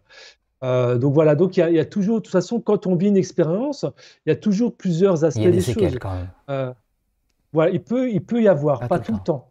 Il peut y avoir des séquelles, ça peut arriver. parce que ça dépend, il y, a, plusieurs groupes qui font des abductions, il faut le savoir. Il, peut, il y a aussi des militaires des programmes spatiaux secrets qui font des abductions, parce qu'ils suivent tout ça, eux, ils sont courants. Euh, et ce sont des choses qui sont très, euh, très secrètes, mais ça existe. Et euh, voilà, donc c'est quand même pas anodin. Ok. Kamito, c'est quoi son talisman? Pense que c'est ce que tu as autour du ah, cou. ouais, mon talisman, ben, en fait, ça s'appelle un Earth Connector. Donc ça vient des, États-Unis. Et en fait, c'est dedans, il y a de la géométrie sacrée et il y a des, des pierres précieuses qui sont euh, mises en fait sous la forme d'une étoile de Métatron. Euh, et donc, euh, il y a un côté étoile et il y a un côté terrestre. Donc, ça me permet en fait de, de, canaliser plus facilement les êtres des étoiles et de recevoir plus facilement leur énergie parce que c'est c'est un, une technologie vibratoire. Est-ce que tu penses que tu la reçois, l'énergie, en ce moment? Euh, Oui, je les sens là. Je, je les sens. Euh, ils sont assez loin, mais je me sens, par exemple, je me sens léger. Quand on a des, des, personnes, des, êtres euh, de, lumière qui sont avec vous, ils vous élèvent vibratoirement et euh, par, par moment, on se sent très léger, on dit waouh, je me sens super bien, je me sens léger, c'est super. Et ça peut être euh, dû à des, présences aussi euh, galactiques, des êtres de lumière qui, sont là. Et ils sont là, mais ils sont assez loin. Quand tu dis à chaque fois les êtres de lumière, est-ce que les anges, pour toi, sont des galactiques aussi? Alors, ça, c'est très intéressant d'en parler parce que il y a des êtres que j'ai rencontrés ils sont tellement hauts dans les fréquences, dans les vibrations et tellement dans la lumière qu'on peut les prendre pour des anges. Et euh, on peut, en fait, ils sont tellement lumineux qu'on les, euh, les reconnaît comme étant soi-même. C'est-à-dire que quand on connecte à eux, on, se dit, mais voilà, un ange, c'est ça. Et euh, je suis ça. Et, et c'est quelque chose qui parle, c'est quelque chose qui parle profondément au, cœur, qui parle vraiment profondément à l'âme. Et euh, intrinsèquement, euh, quand on rencontre ces êtres qui sont angéliques, on se dit, mais c'est ça que je suis. Hmm. C'est de là que je viens, parce que c'est instantané, c'est comme une évidence. En fait, euh, c'est une évidence. On se dit, mais voilà, mais euh, je vis, euh, c'est un rêve que je vis sur Terre. Voilà, c'est n'est pas la réalité. Par contre, je viens de cette lumière, de cet amour que je ressens et auquel je, me connecte. Donc, euh, il peut y avoir des êtres galactiques qui sont tellement évolués qu'ils peuvent entre guillemets, être perçus comme des anges. Maintenant, pour moi, des anges, ce sont des êtres qui sont tellement avancés sur leur chemin qui ne sont, qui ne s'incarnent pas. Mmh il existe des êtres qui ne s'incarnent pas, et qui peuvent manifester des présences par des corps de lumière euh, sur Terre, où ça, ce sont des, véritables anges. Ok, ok. Isazen, euh, quelles familles galactiques sont plus proches de la protection de la nature et du vivant? Alors là, euh, les, tous ceux que j'ai reçus, alors ils, aiment tous, bien sûr, ce sont des êtres qui nourrissent la vie, en ce sens que euh, le principe d'un être de lumière, c'est qu'il va nourrir la vie, expanser la vie donc, euh, euh, autour de lui. Donc il va amener l'amour et la lumière autour de lui, donc il va amener les fréquences de, la lumière de la source autour de lui. Et, il, y en a, il y a certains êtres qui sont très proches de la nature, ce sont notamment les Pléiadiens. Donc vous avez les Pléiadiens, par exemple, de Taïget.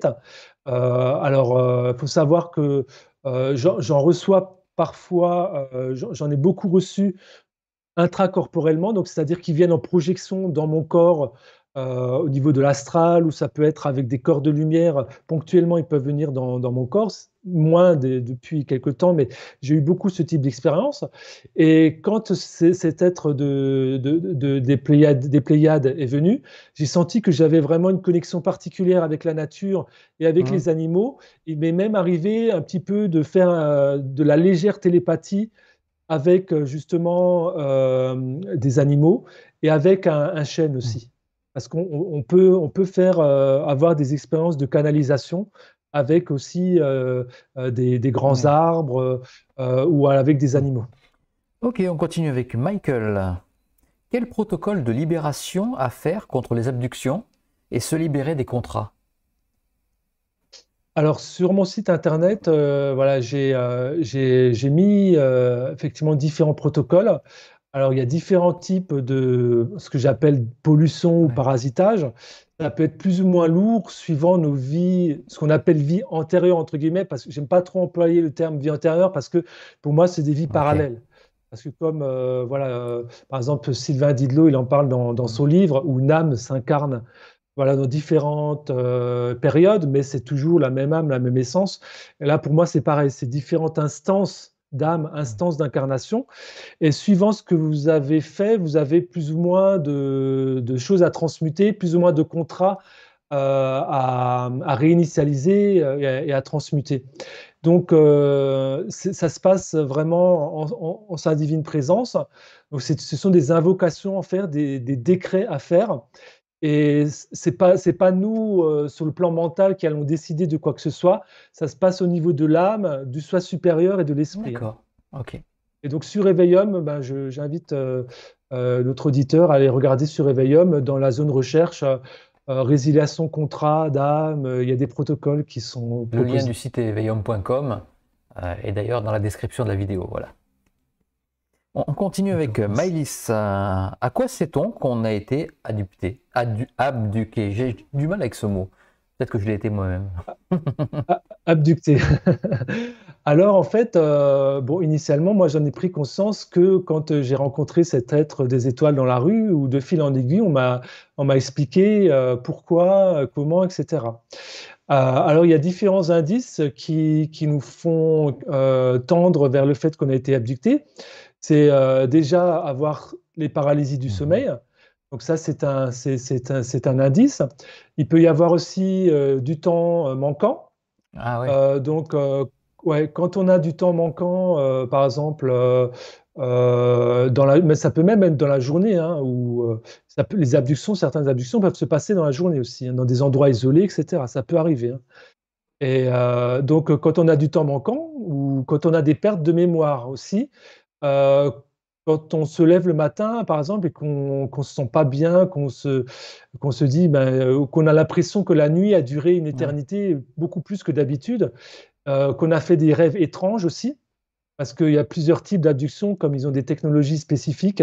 Ils peuvent nous abducter totalement, nous abducter dans ah l'éthérique ou dans l'astral aussi.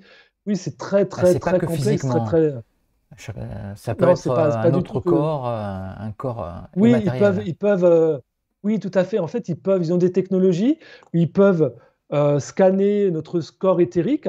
Il faut savoir que notre corps physique est la copie du corps éthérique. Et ensuite, avec un rayon, donc ils viennent avec un, vaisseau, hein. avec un rayon, ils font la copie et ils vous matérialisent dans leur vaisseau avec une sorte de technologie énergétique. Euh, ensuite, ils font leurs choses scientifiques ou ce qu'ils ont à faire, euh, voilà. Et après, ils réincorporent euh, la, copie. c'est comme une technologie holographique. Ils réincorporent la copie dans le corps, en mmh. fait, l'essence. Et instantanément, ce que eux ils ont fait dans, dans, dans, leur vaisseau, ça se répercute dans, le, dans, dans les corps inférieurs, parce que c'est le corps supérieur qui crée les corps inférieurs. C'est comme une poupée russe, tout est mmh. emboîté.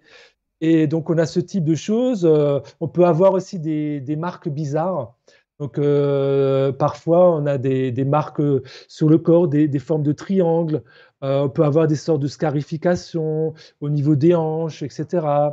on peut avoir aussi parfois pour les, pour les femmes des problèmes aussi gynécologiques qui viennent de nulle part parce qu'ils font beaucoup d'expériences aussi liées à la génétique avec euh, les êtres abductés, ils peuvent, ils peuvent même, euh, euh, même des, ensemencer donc des êtres qui sont abductés pour, leur, pour faire faire des, hybrides. depuis le temps, depuis le temps qu'ils font des expériences sur nous, ils n'ont pas réussi à trouver tout ce qu'ils voulaient? Mais en fait, il y a tellement de groupes qui sont intéressés par, par nous et sont toujours à la recherche en fait, ce sont vraiment des scientifiques, euh, ceux qui font ça. Et ils sont, ils sont vraiment à la recherche de, de, la génétique. Et en fait, il faut savoir que notre génétique, elle est imprégnée de notre essence, de notre âme, de notre euh, fréquence, de notre vibration. Et c'est pour ça que les personnes qui les intéressent à abducter, ce sont soit des êtres, euh, des indigos, donc des êtres qu'on dit des êtres des étoiles, même si voilà, on ne vient pas d'un endroit particulier puisqu'on est, on est issu de la conscience, mais on passe par certains groupes de planètes de façon préférentielle. Et à ce moment-là, notre âme, notre euh, essence, elle est colorée d'une certaine vibration euh, et on peut se relier plus facilement à un groupe d'âmes, un groupe d'êtres. Et euh, donc, ce qui les intéresse, c'est d'avoir plein de, qualités d'ADN différents pour pouvoir eux-mêmes créer des hybrides et créer d'autres races, etc., où eux, ils vont s'incarner après dans ces corps-là. Ok. Donc, c'est c'est sans fin. Sans fin, hein, On continue avec Isazen. Comment les galactiques considèrent-ils la Terre? Quel rôle joue-t-elle dans l'ensemble de la création pour eux? Alors, les galactiques, ils voient la Terre comme, ils appellent ça la grande expérience. Hmm. La grande expérience en ce sens que sur Terre, il y a des êtres de qualité vibratoire euh, et de qualité, euh, on va dire, qui sont passés dans différents secteurs stellaires euh, au niveau de leur conscience tout à fait différents. il y a des êtres qui sont orientés vers eux-mêmes, qui ont plus une histoire, un parcours d'orientation vers êtres Et il y a des êtres qui sont orientés vraiment vers les autres, vers la lumière, vers le cœur. Et il y a des êtres, ce qu'on appelle ça les anciennes âmes, donc, ce sont des êtres, euh, des âmes qui ont beaucoup eu d'expériences d'incarnation sur Terre dans différentes euh, euh, périodes de, l'humanité. On appelle ça les vieilles âmes, les, anciennes âmes. Et donc, ce qui les intéresse au niveau de l'abduction, c'est plus les anciennes âmes les, et les, âmes mmh. indigo parce que c'est des fréquences d'âmes plus élevées. Ok. Et donc, voilà, je me suis peut-être un peu non, ça dans la rien, réponse. Hein. quel, quel, rôle, quel rôle joue-t-elle dans l'ensemble de la création Ah oui. Pour, voilà, donc euh, donc c'est une expérience formidable et fantastique qui est regardée et observée par, j'ai envie de dire presque tout l'univers entre guillemets. On a quand même une euh, spécificité parce que quand même. Il y a une spécificité incroyable en ce sens qu'il y a une diversité d'êtres incroyable. Et euh, la diversité des âmes se, se rencontre après par la différence, la, plénitude en fait des cultures euh, et des êtres, euh, des ethnies qu'on peut avoir sur Terre. Et euh, certains groupes d'âmes, voilà, sont, plus enclins, par exemple, à avoir des expériences, par exemple, du côté des Asiatiques ou hmm. voilà, du côté des, des, Africains, sachant que les Africains sont la race noire, entre guillemets, sont issus des étoiles aussi. Euh, et donc, en fait, c'est une grande expérience de mixité et qui, qui, euh, qui fait l'admiration des êtres galactiques, des êtres des étoiles, parce que ça contient un potentiel euh, d'échange d'amour, en ce sens que quand on va au-delà des différences illusionnelles de la couleur de peau, de la langue, de, de, voilà, des pays, etc., qui sont des, limites tout à fait euh, matérielles et, illusionnelles. Et quand, eh bien, quand on arrive à aller dans cette connexion de cœur à cœur, eh bien, euh, on est dans, dans, une sorte de, de, de, plénitude de l'expérience. On peut vivre des tas, des tas d'expériences en une seule vie sur Terre. Et ça, ça fait vraiment leur admiration. Euh, voilà. Et ils nous admirent un petit peu quand même alors.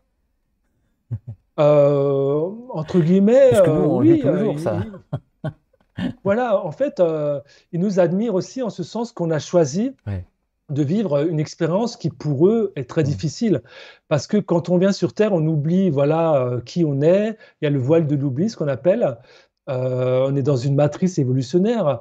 on ne sait pas qui on est, euh, euh, on n'a pas forcément, euh, on sait intuitivement, mais on ne connaît pas nos, vies parallèles, nos vies passées, nos vies futures, voilà.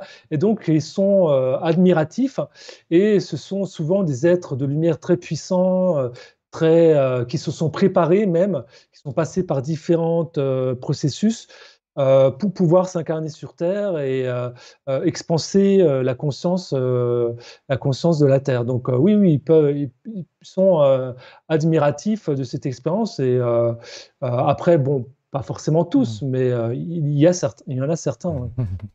ok, on continue avec N, N Bon, je crois que tu avais déjà répondu à la question, mais bon, si tu veux rajouter un petit complément. Alors, vous êtes en état de modifié de conscience quand vous, êtes en contact avec eux Vous n'arrivez pas à les voir en état de veille ordinaire? Alors euh, oui, c'est plus euh, effectivement un état de, conscience modifié parce qu'il y a, toujours le, mental qui peut reprendre le dessus, mais avec euh, l'entraînement, on, peut, on peut changer d'état de conscience assez rapidement parce que notre cerveau, voilà, il crée des réseaux neuronaux qui fait que euh, en, quelques, euh, minutes, on peut rentrer en méditation profonde et aller dans un espace intérieur euh, où on va pouvoir avoir des échanges vibratoires avec eux. Et ça peut aller même tellement loin que parfois j'ai des canalisations. Si je les note pas, et eh bien après j'oublie rapidement ce que, j'ai reçu, ce que j'ai dit. Donc voilà. et pour, faut savoir que pour les voir physiquement dans la troisième dimension, il faut que nous, on élève notre mmh. fréquence et que eux, ils abaissent leur fréquence. C'est-à-dire qu'ils peuvent se manifester dans la troisième dimension, qui est une fréquence beaucoup plus basse pour eux que, que, la, que la, nôtre, parce qu'eux, ils sont plus dans la cinquième, la sixième dimension. Donc, euh, ce sont eux qui se manifestent à nous. Et euh, même les vaisseaux, euh, voilà, il y a des vaisseaux, il peut y avoir des vaisseaux, par exemple, ils peuvent se manifester sous la forme de nuages. Donc, dans la, dans, dans la 3D, on va, on va le voir sous, sous, forme de, sous une forme de nuage. Et euh, après, quand, quand, on a l'habitude, on, voit certains nuages qui sont assez, on peut les trouver bizarres, entre guillemets, qui sont spécifiques. Et donc, en élevant ces vibrations, avec mon troisième œil, j'arrive à voir que ce pas des nuages, mais c'est des vaisseaux. Donc, je les vois, mais pas totalement. Parce que, voilà, c'est. Il faut, faut, vraiment avoir un troisième œil euh, très puissant pour pouvoir les voir comme, euh, comme je te vois ici maintenant, par exemple. ok. Et puis, ou alors qu'eux se présentent à nous euh, dans, en visualisation. Ils peuvent se présenter aussi. Justement, c'est la suite, c'est la, question suivante de Svord. Euh, on en avait parlé en, off tout à l'heure. Je t'avais demandé si tu avais revu euh, cette personne, la, galactique que tu avais rencontrée un peu plus tard, enfin, si tu l'avais rencontrée après dans ta vie. Et la, Svord demande est-ce que tu as des souvenirs précis d'une rencontre extraterrestre en dehors d'un contexte nocturne, par exemple en pleine rue ou en journée, autre que la galactique que tu avais rencontrée Non, alors effectivement, physiquement, non. Hmm. Physiquement, j'ai pas, j'ai pas euh, revu cette personne, j'en ai pas revu hmm. physiquement. Euh, c'est la seule fois que j'en ai vu physiquement. Par contre, d'autres sont, sont, venus, euh, sont venus également chez moi, notamment un, un, être euh, qui, euh, qui, est venu. Euh, mais bon, là, je, je percevais, c'était une perception de présence, en fait, comme si, comme un, ressenti d'entité, etc., mais qui, était dans, dans, un, dans, un, autre plan de fréquence, et voilà, où j'ai pas, j'ai pas vu la personne physiquement. Donc c'est la seule fois où j'ai vu physiquement cet être. Euh, par contre, ils m'ont montré leur visage, d'autres visages, d'autres formes euh, en rêve. Mhm.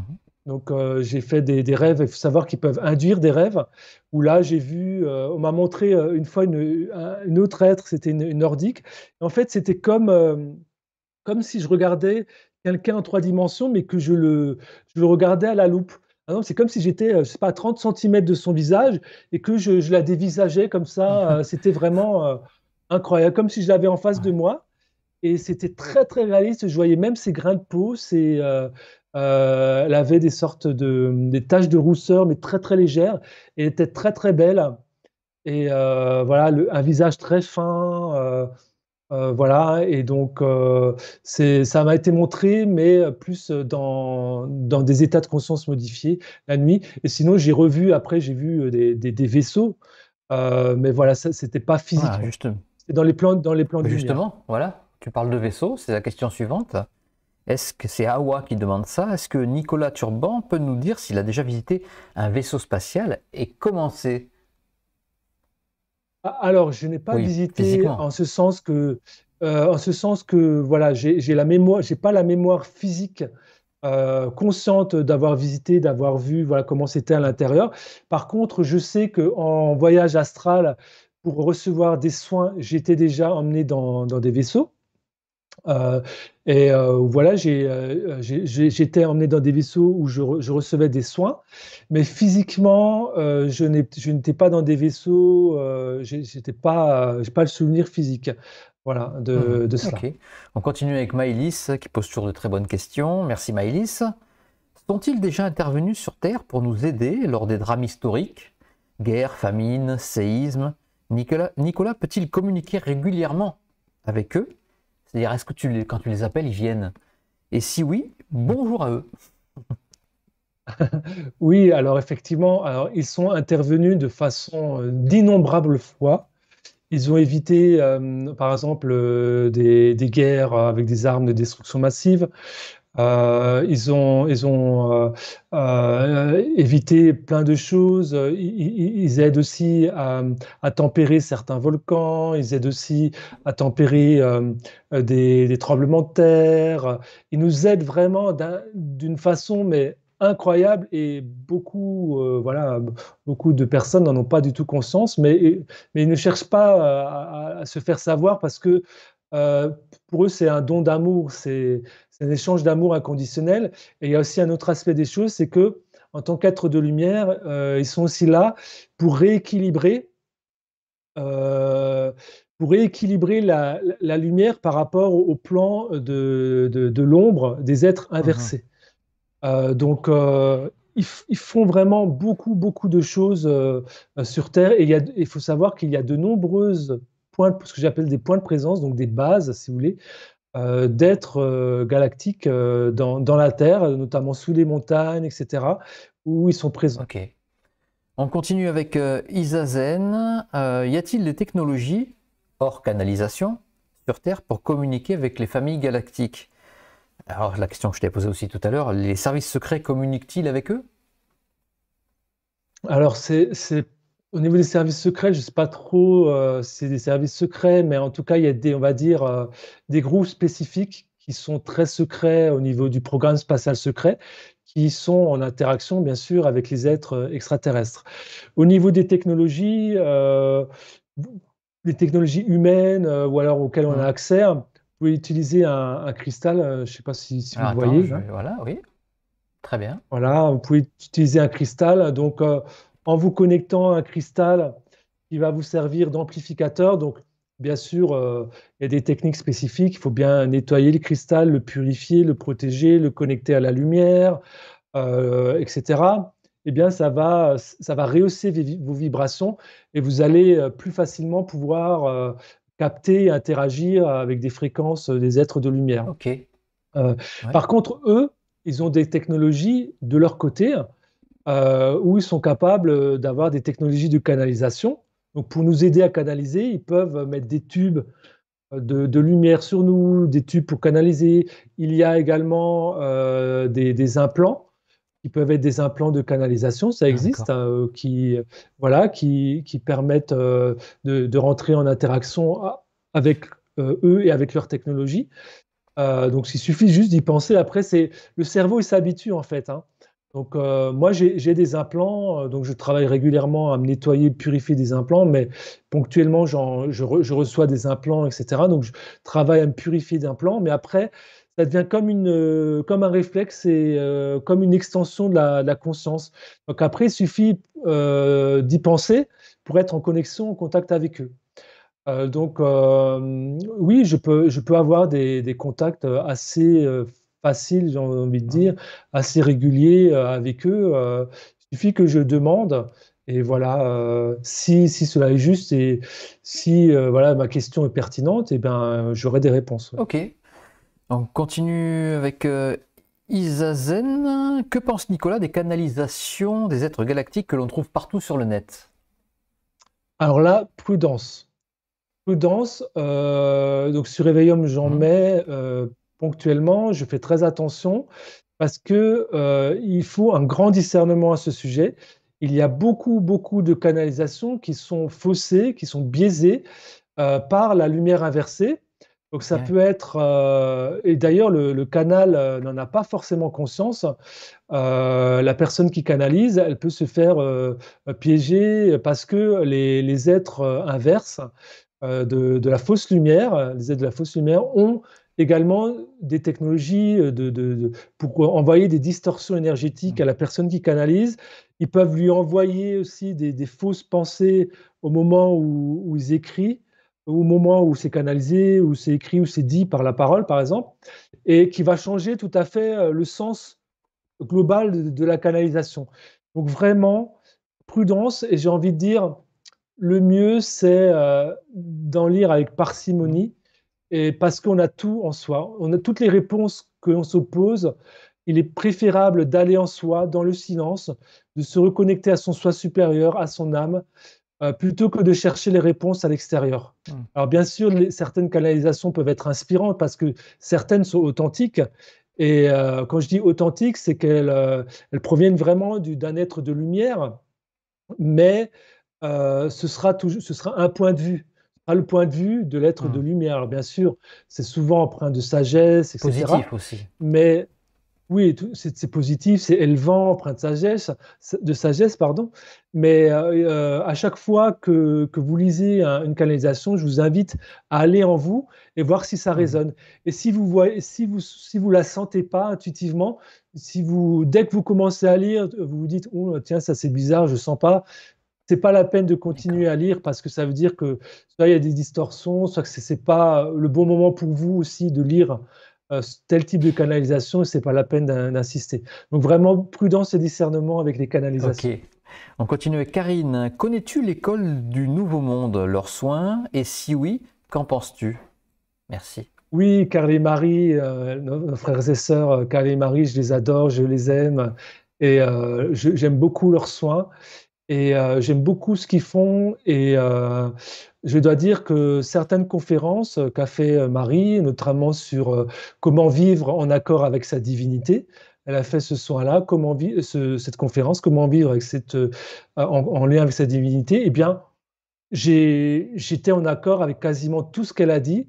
J'ai n'ai pas vu de distorsion. Et comme elle le dit si bien, c'est qu'il n'y a qu'une seule source d'information. Donc il y a un champ de conscience qui est vibratoire et à partir du moment où nous, on est dans notre alignement, dans notre cœur, et qu'on est ancré, et qu'on est dans, dans, dans, dans, l'équilibre de ce que l'on est, eh bien, on va pouvoir connecter à la même source d'information que la personne qui canalise. Et donc, instantanément, on va savoir si ce que la personne dit euh, est juste ou pas. Et si c'est juste, si la personne elle est dans cette lumière, dans son alignement, dans son cœur, qu'elle est bien ancrée, bien équilibrée, et que nous on est dans, ce, dans, cet état-là aussi, eh bien on va avoir les mêmes informations. Euh, si on pose la, la, question, on va avoir les mêmes informations. Alors ce sera peut-être sous des mots différents, mais ça voudra dire la même chose. Ok.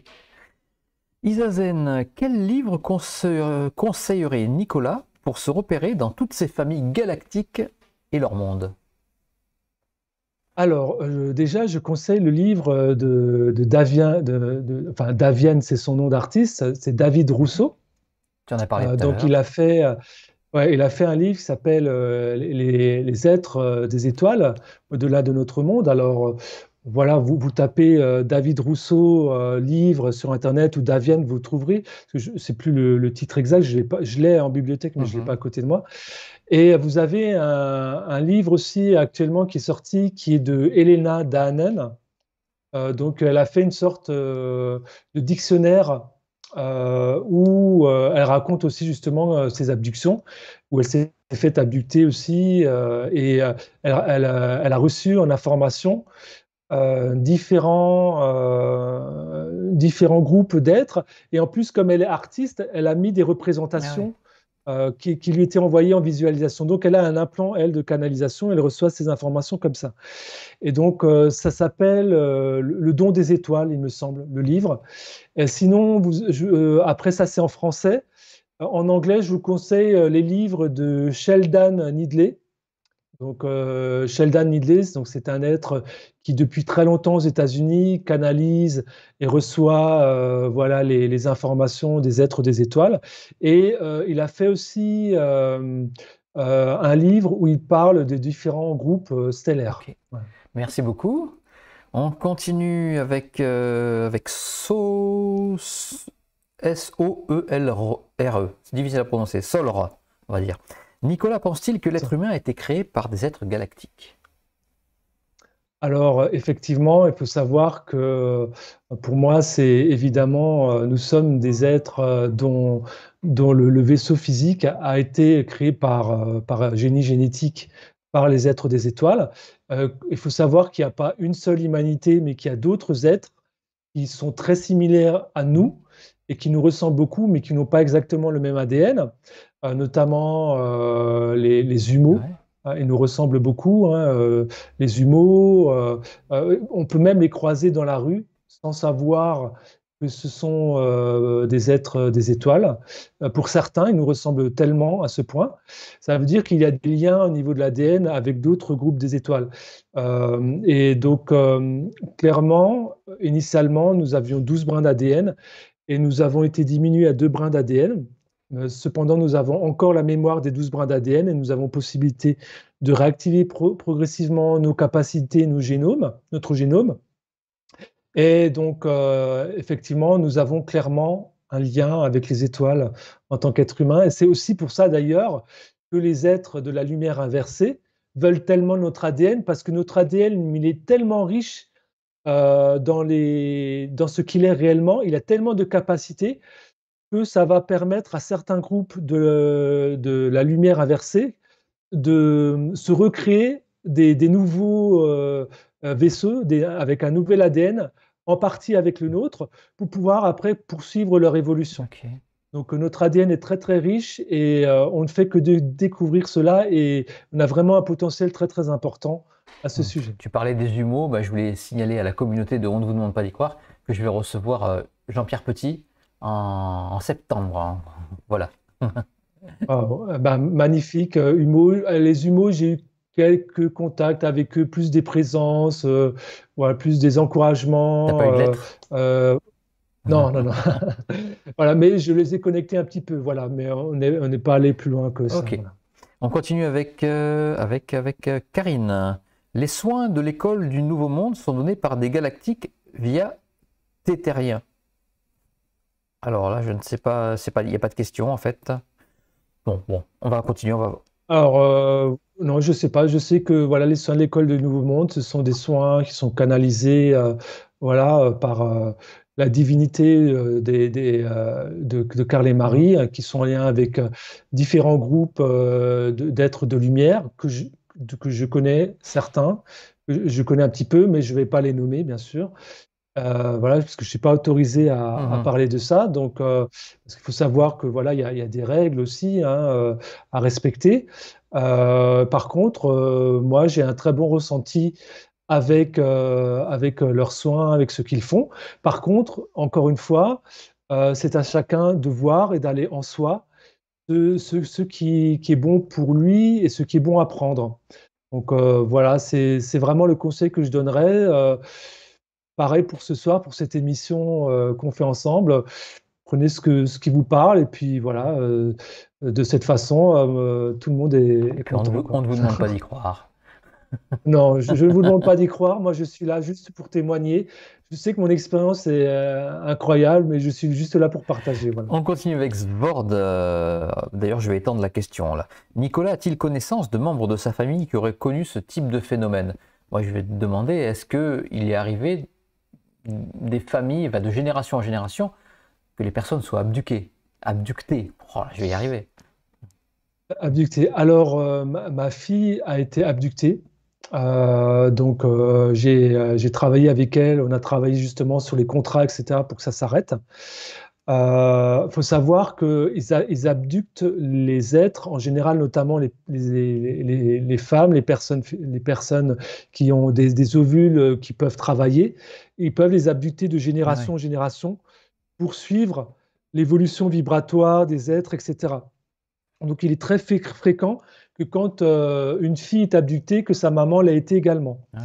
Et donc ces abductions, notamment, elles se sont intensifiées depuis 1953, date à laquelle il y a eu un accord secret qui a été passé par le gouvernement d'Eisenhower avec euh, des groupes euh, involutifs de la fausse lumière, euh, pour qu'ils puissent réaliser ces abductions.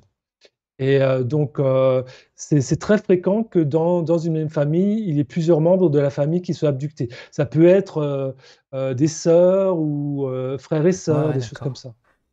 Bah, ok.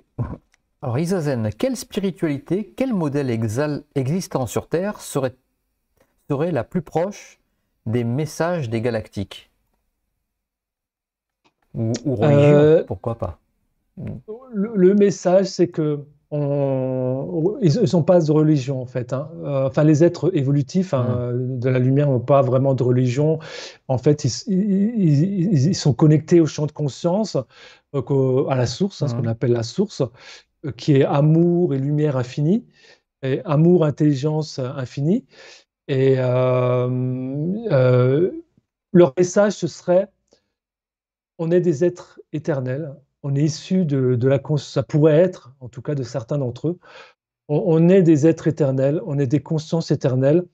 Euh, nous sommes euh, voilà des êtres incarnés. On fait l'expérience, on fait certaines expériences à travers l'incarnation, à travers le corps, mais ce qu'on est réellement, ce sont des êtres éternels.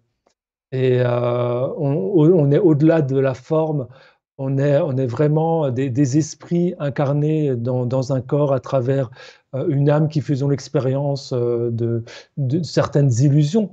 Euh, l'illusion de limitation, euh, l'illusion de séparation, euh, alors qu'en fait, en fait, on a tout en nous.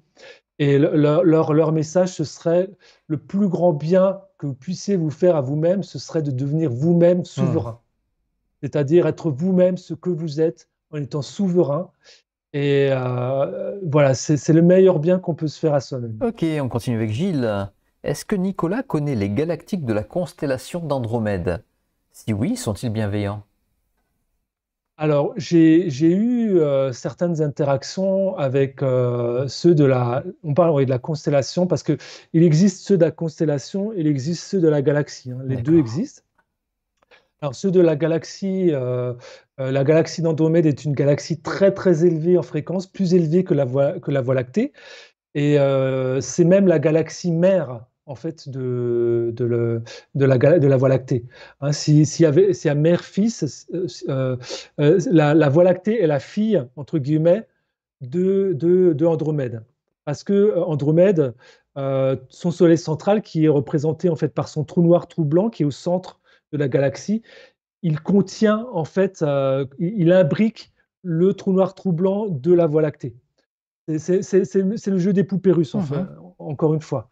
Et euh, donc, euh, j'ai eu quelques interactions avec ceux de, la constellation d'Andromède, notamment avec un être euh, qui s'appelle Miti, Miti l'andromédien. alors, ils sont très scientifiques, voilà, ils sont très lumineux. Alors, bien sûr, il y a plusieurs groupes. Quand on dit, par exemple, les êtres de, tel secteur, par exemple, les, les, Pléiadiens, quand on dit les Pléiadiens, c'est comme si on disait les Américains. Euh, quand on dit les Syrusiens, euh, voilà, c'est pareil, il y a plein de groupes différents euh, qui, existent hein, au sein de, leur société et puis même dans leur, dans, leur secteur des étoiles. Par exemple, les Pléiades, il y a 2000 étoiles. Et donc, il y a énormément de planètes habitables et habitées. Et donc, les Andromédiens, oui, oui, euh, c'est pas ceux du tout avec lesquels j'ai eu le plus d'interaction. Euh, ceux avec lesquels j'ai eu le plus d'interaction, euh, ce sont euh, les, Pléiadiens, les Vénusiens, pour parler des êtres qui sont dans le système solaire, avec des Atlantes aussi, avec les Siriusiens, les Aviens un petit peu, différents types de groupes d'Aviens, avec des dragons aussi, parce qu'il y a des dragons galactiques. Du côté évolutif, j'ai eu différents reptiliens, sachant qu'il existe aussi des reptiliens qui ne sont pas de la lumière inversée. Euh, ils sont en petits groupes, mais ils existent aussi. Euh, c'est pas les plus nombreux, hein, mais voilà, euh, je le dis mhm. aussi. Et ce que je voudrais dire aussi, euh, quelque, chose d'important, c'est comme pour les êtres humains, en fait, la forme d'un être ne fait pas du tout sa bienveillance ou sa, sa malveillance, entre guillemets, hein, ou ses intentions ne représente pas ses intentions s'il est orienté vers lui ou vers les autres. Donc une orientation négative envers nous-mêmes ou positive envers nous-mêmes. Et euh, ça veut dire que, par exemple, il existe des êtres gris qui sont euh, bienveillants, euh, qui sont lumineux. il existe des êtres reptiliens, même dans la galaxie, hein, qui sont bienveillants. Il y en a même du côté de Procyon, des Procyoniens. J'ai aussi beaucoup rencontré de Procyoniens. voilà. Donc ça, c'est important de conscientiser. C'est vraiment euh, la fréquence vibratoire de l'être euh, qui va déterminer ses intentions et également, bien sûr, les groupes avec lesquels il évolue. Ok, ok, ok. Il y en a vraiment beaucoup, hein, quand même. oui, c'est très, très vaste. Très, très... Bon, j'ai mis des années et des années avant de pouvoir euh, envisager tout ça. Ah, une bonne question, là, j'aime bien. Vaut-il mieux avoir une haute fréquence pour rencontrer des êtres bienveillants? Est-ce que les êtres involutifs évoluent sur la même fréquence que les êtres, Non. que les Pléiadiens par exemple? Non, ils n'évoluent pas sur le, même plan de fréquence, ils évoluent sur des plans de fréquence plus bas. Si on veut faire la différence, c'est comme si on envisageait le haut astral et le hmm. bas astral.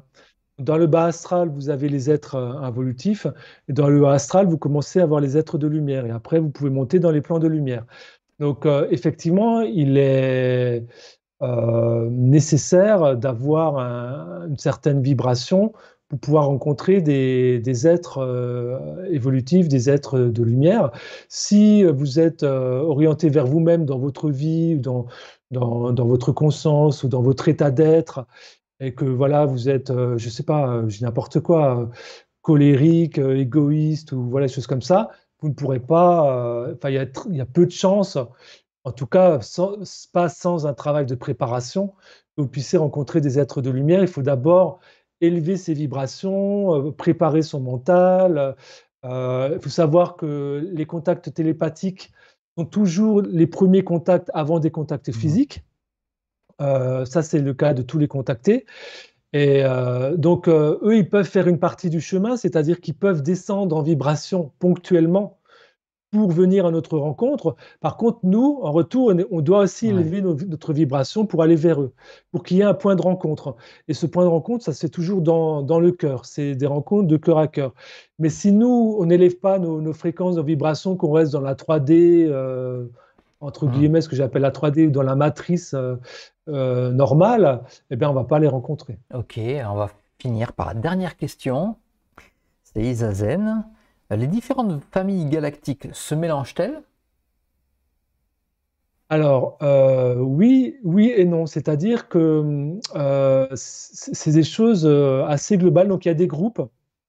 Il y a des groupes qui sont de plus ou moins importants. Mhm. Au sein de ces groupes, il peut y avoir, moi, ce que j'appelle des origines de différentes planètes. Et donc, euh, par contre, euh, ils peuvent très bien faire des colonies sur certaines planètes avec différents groupes, euh, par exemple des aides de Sirius, des aides des Pléiades, des aides de, Procyon, d'Andromède. Donc, ce sont vraiment des communautés. C'est des communautés galactiques. Et donc, ils sont, il y a des mixités hein, très importantes qui peuvent exister par le fait que euh, chacun a, des spécialités qui sont propres. Par exemple, vous avez certaines, euh, certaines races, certaines civilisations galactiques qui vont être expertes dans l'exploration spatiale. Et donc, euh, vous allez avoir des experts qui vont être présents au sein de certaines flottes galactiques. Vous avez d'autres qui sont spécialisés dans des technologies cristallines. Et donc, vous allez avoir ces experts-là. d'autres qui sont spécialisés dans l'ingénierie de la vie, dans la génétique.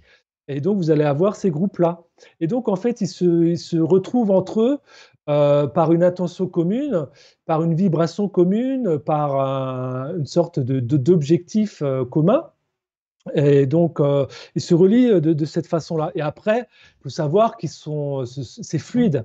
Euh, c'est-à-dire que voilà, une personne qui est dans tel groupe, si elle ressent intérieurement qu'elle doit changer de groupe, eh ben c'est fluide, elle va changer de groupe. Si elle ressent que euh, qu'elle a quelque chose à faire euh, sur notre planète ou je ne sais pas, ça c'est fluide. Après, par contre, du côté involutif, le côté involutif, c'est beaucoup plus pas beaucoup plus hiérarchique, c'est beaucoup plus par groupe, beaucoup plus pyramidal. Donc il y a les chefs ah qui donnent des ordres à des groupes qui sont des voilà, c'est l'armée. Et ils sont plus, euh, eux, ils sont plus dans des groupes, euh, à dire, entre eux. Ils sont plus entre eux dans des groupes. Mmh. Ils se moins. Parce qu'ils ne s'entendent pas forcément entre eux. Euh, ils ont des compétitions entre eux parce qu'ils sont dans la compétition. Donc forcément, voilà, ils ne sont pas collaborants entre eux non plus. sauf exception. bon, ils peuvent avoir des accords, etc. Mais bah, ce n'est pas, pas pareil. Ok, ben voilà. C'était donc euh, la, dernière, question. Ben, je vais quand même te laisser le mot de la fin, mais je vais remercier quand même, comme d'habitude, euh, tous ceux qui suivent ma chaîne, les nouveaux abonnés. N'hésitez pas à mettre les pouces bleus si vous aimez les vidéos. Alors comme vous le savez aussi, euh, vos dons sont très importants pour le fonctionnement et le développement de ma chaîne. Alors vous trouverez le lien PayPal dans la description de la vidéo. Alors demain, je vous donne rendez-vous avec un chasseur de fantômes c'est en la personne de Jean Didier. Et n'oubliez pas, samedi à 20h, la première de la nouvelle émission que nous avons montée avec Sébastien Sochard. D'ailleurs, en avant-première, je vais vous quand même vous mettre le générique.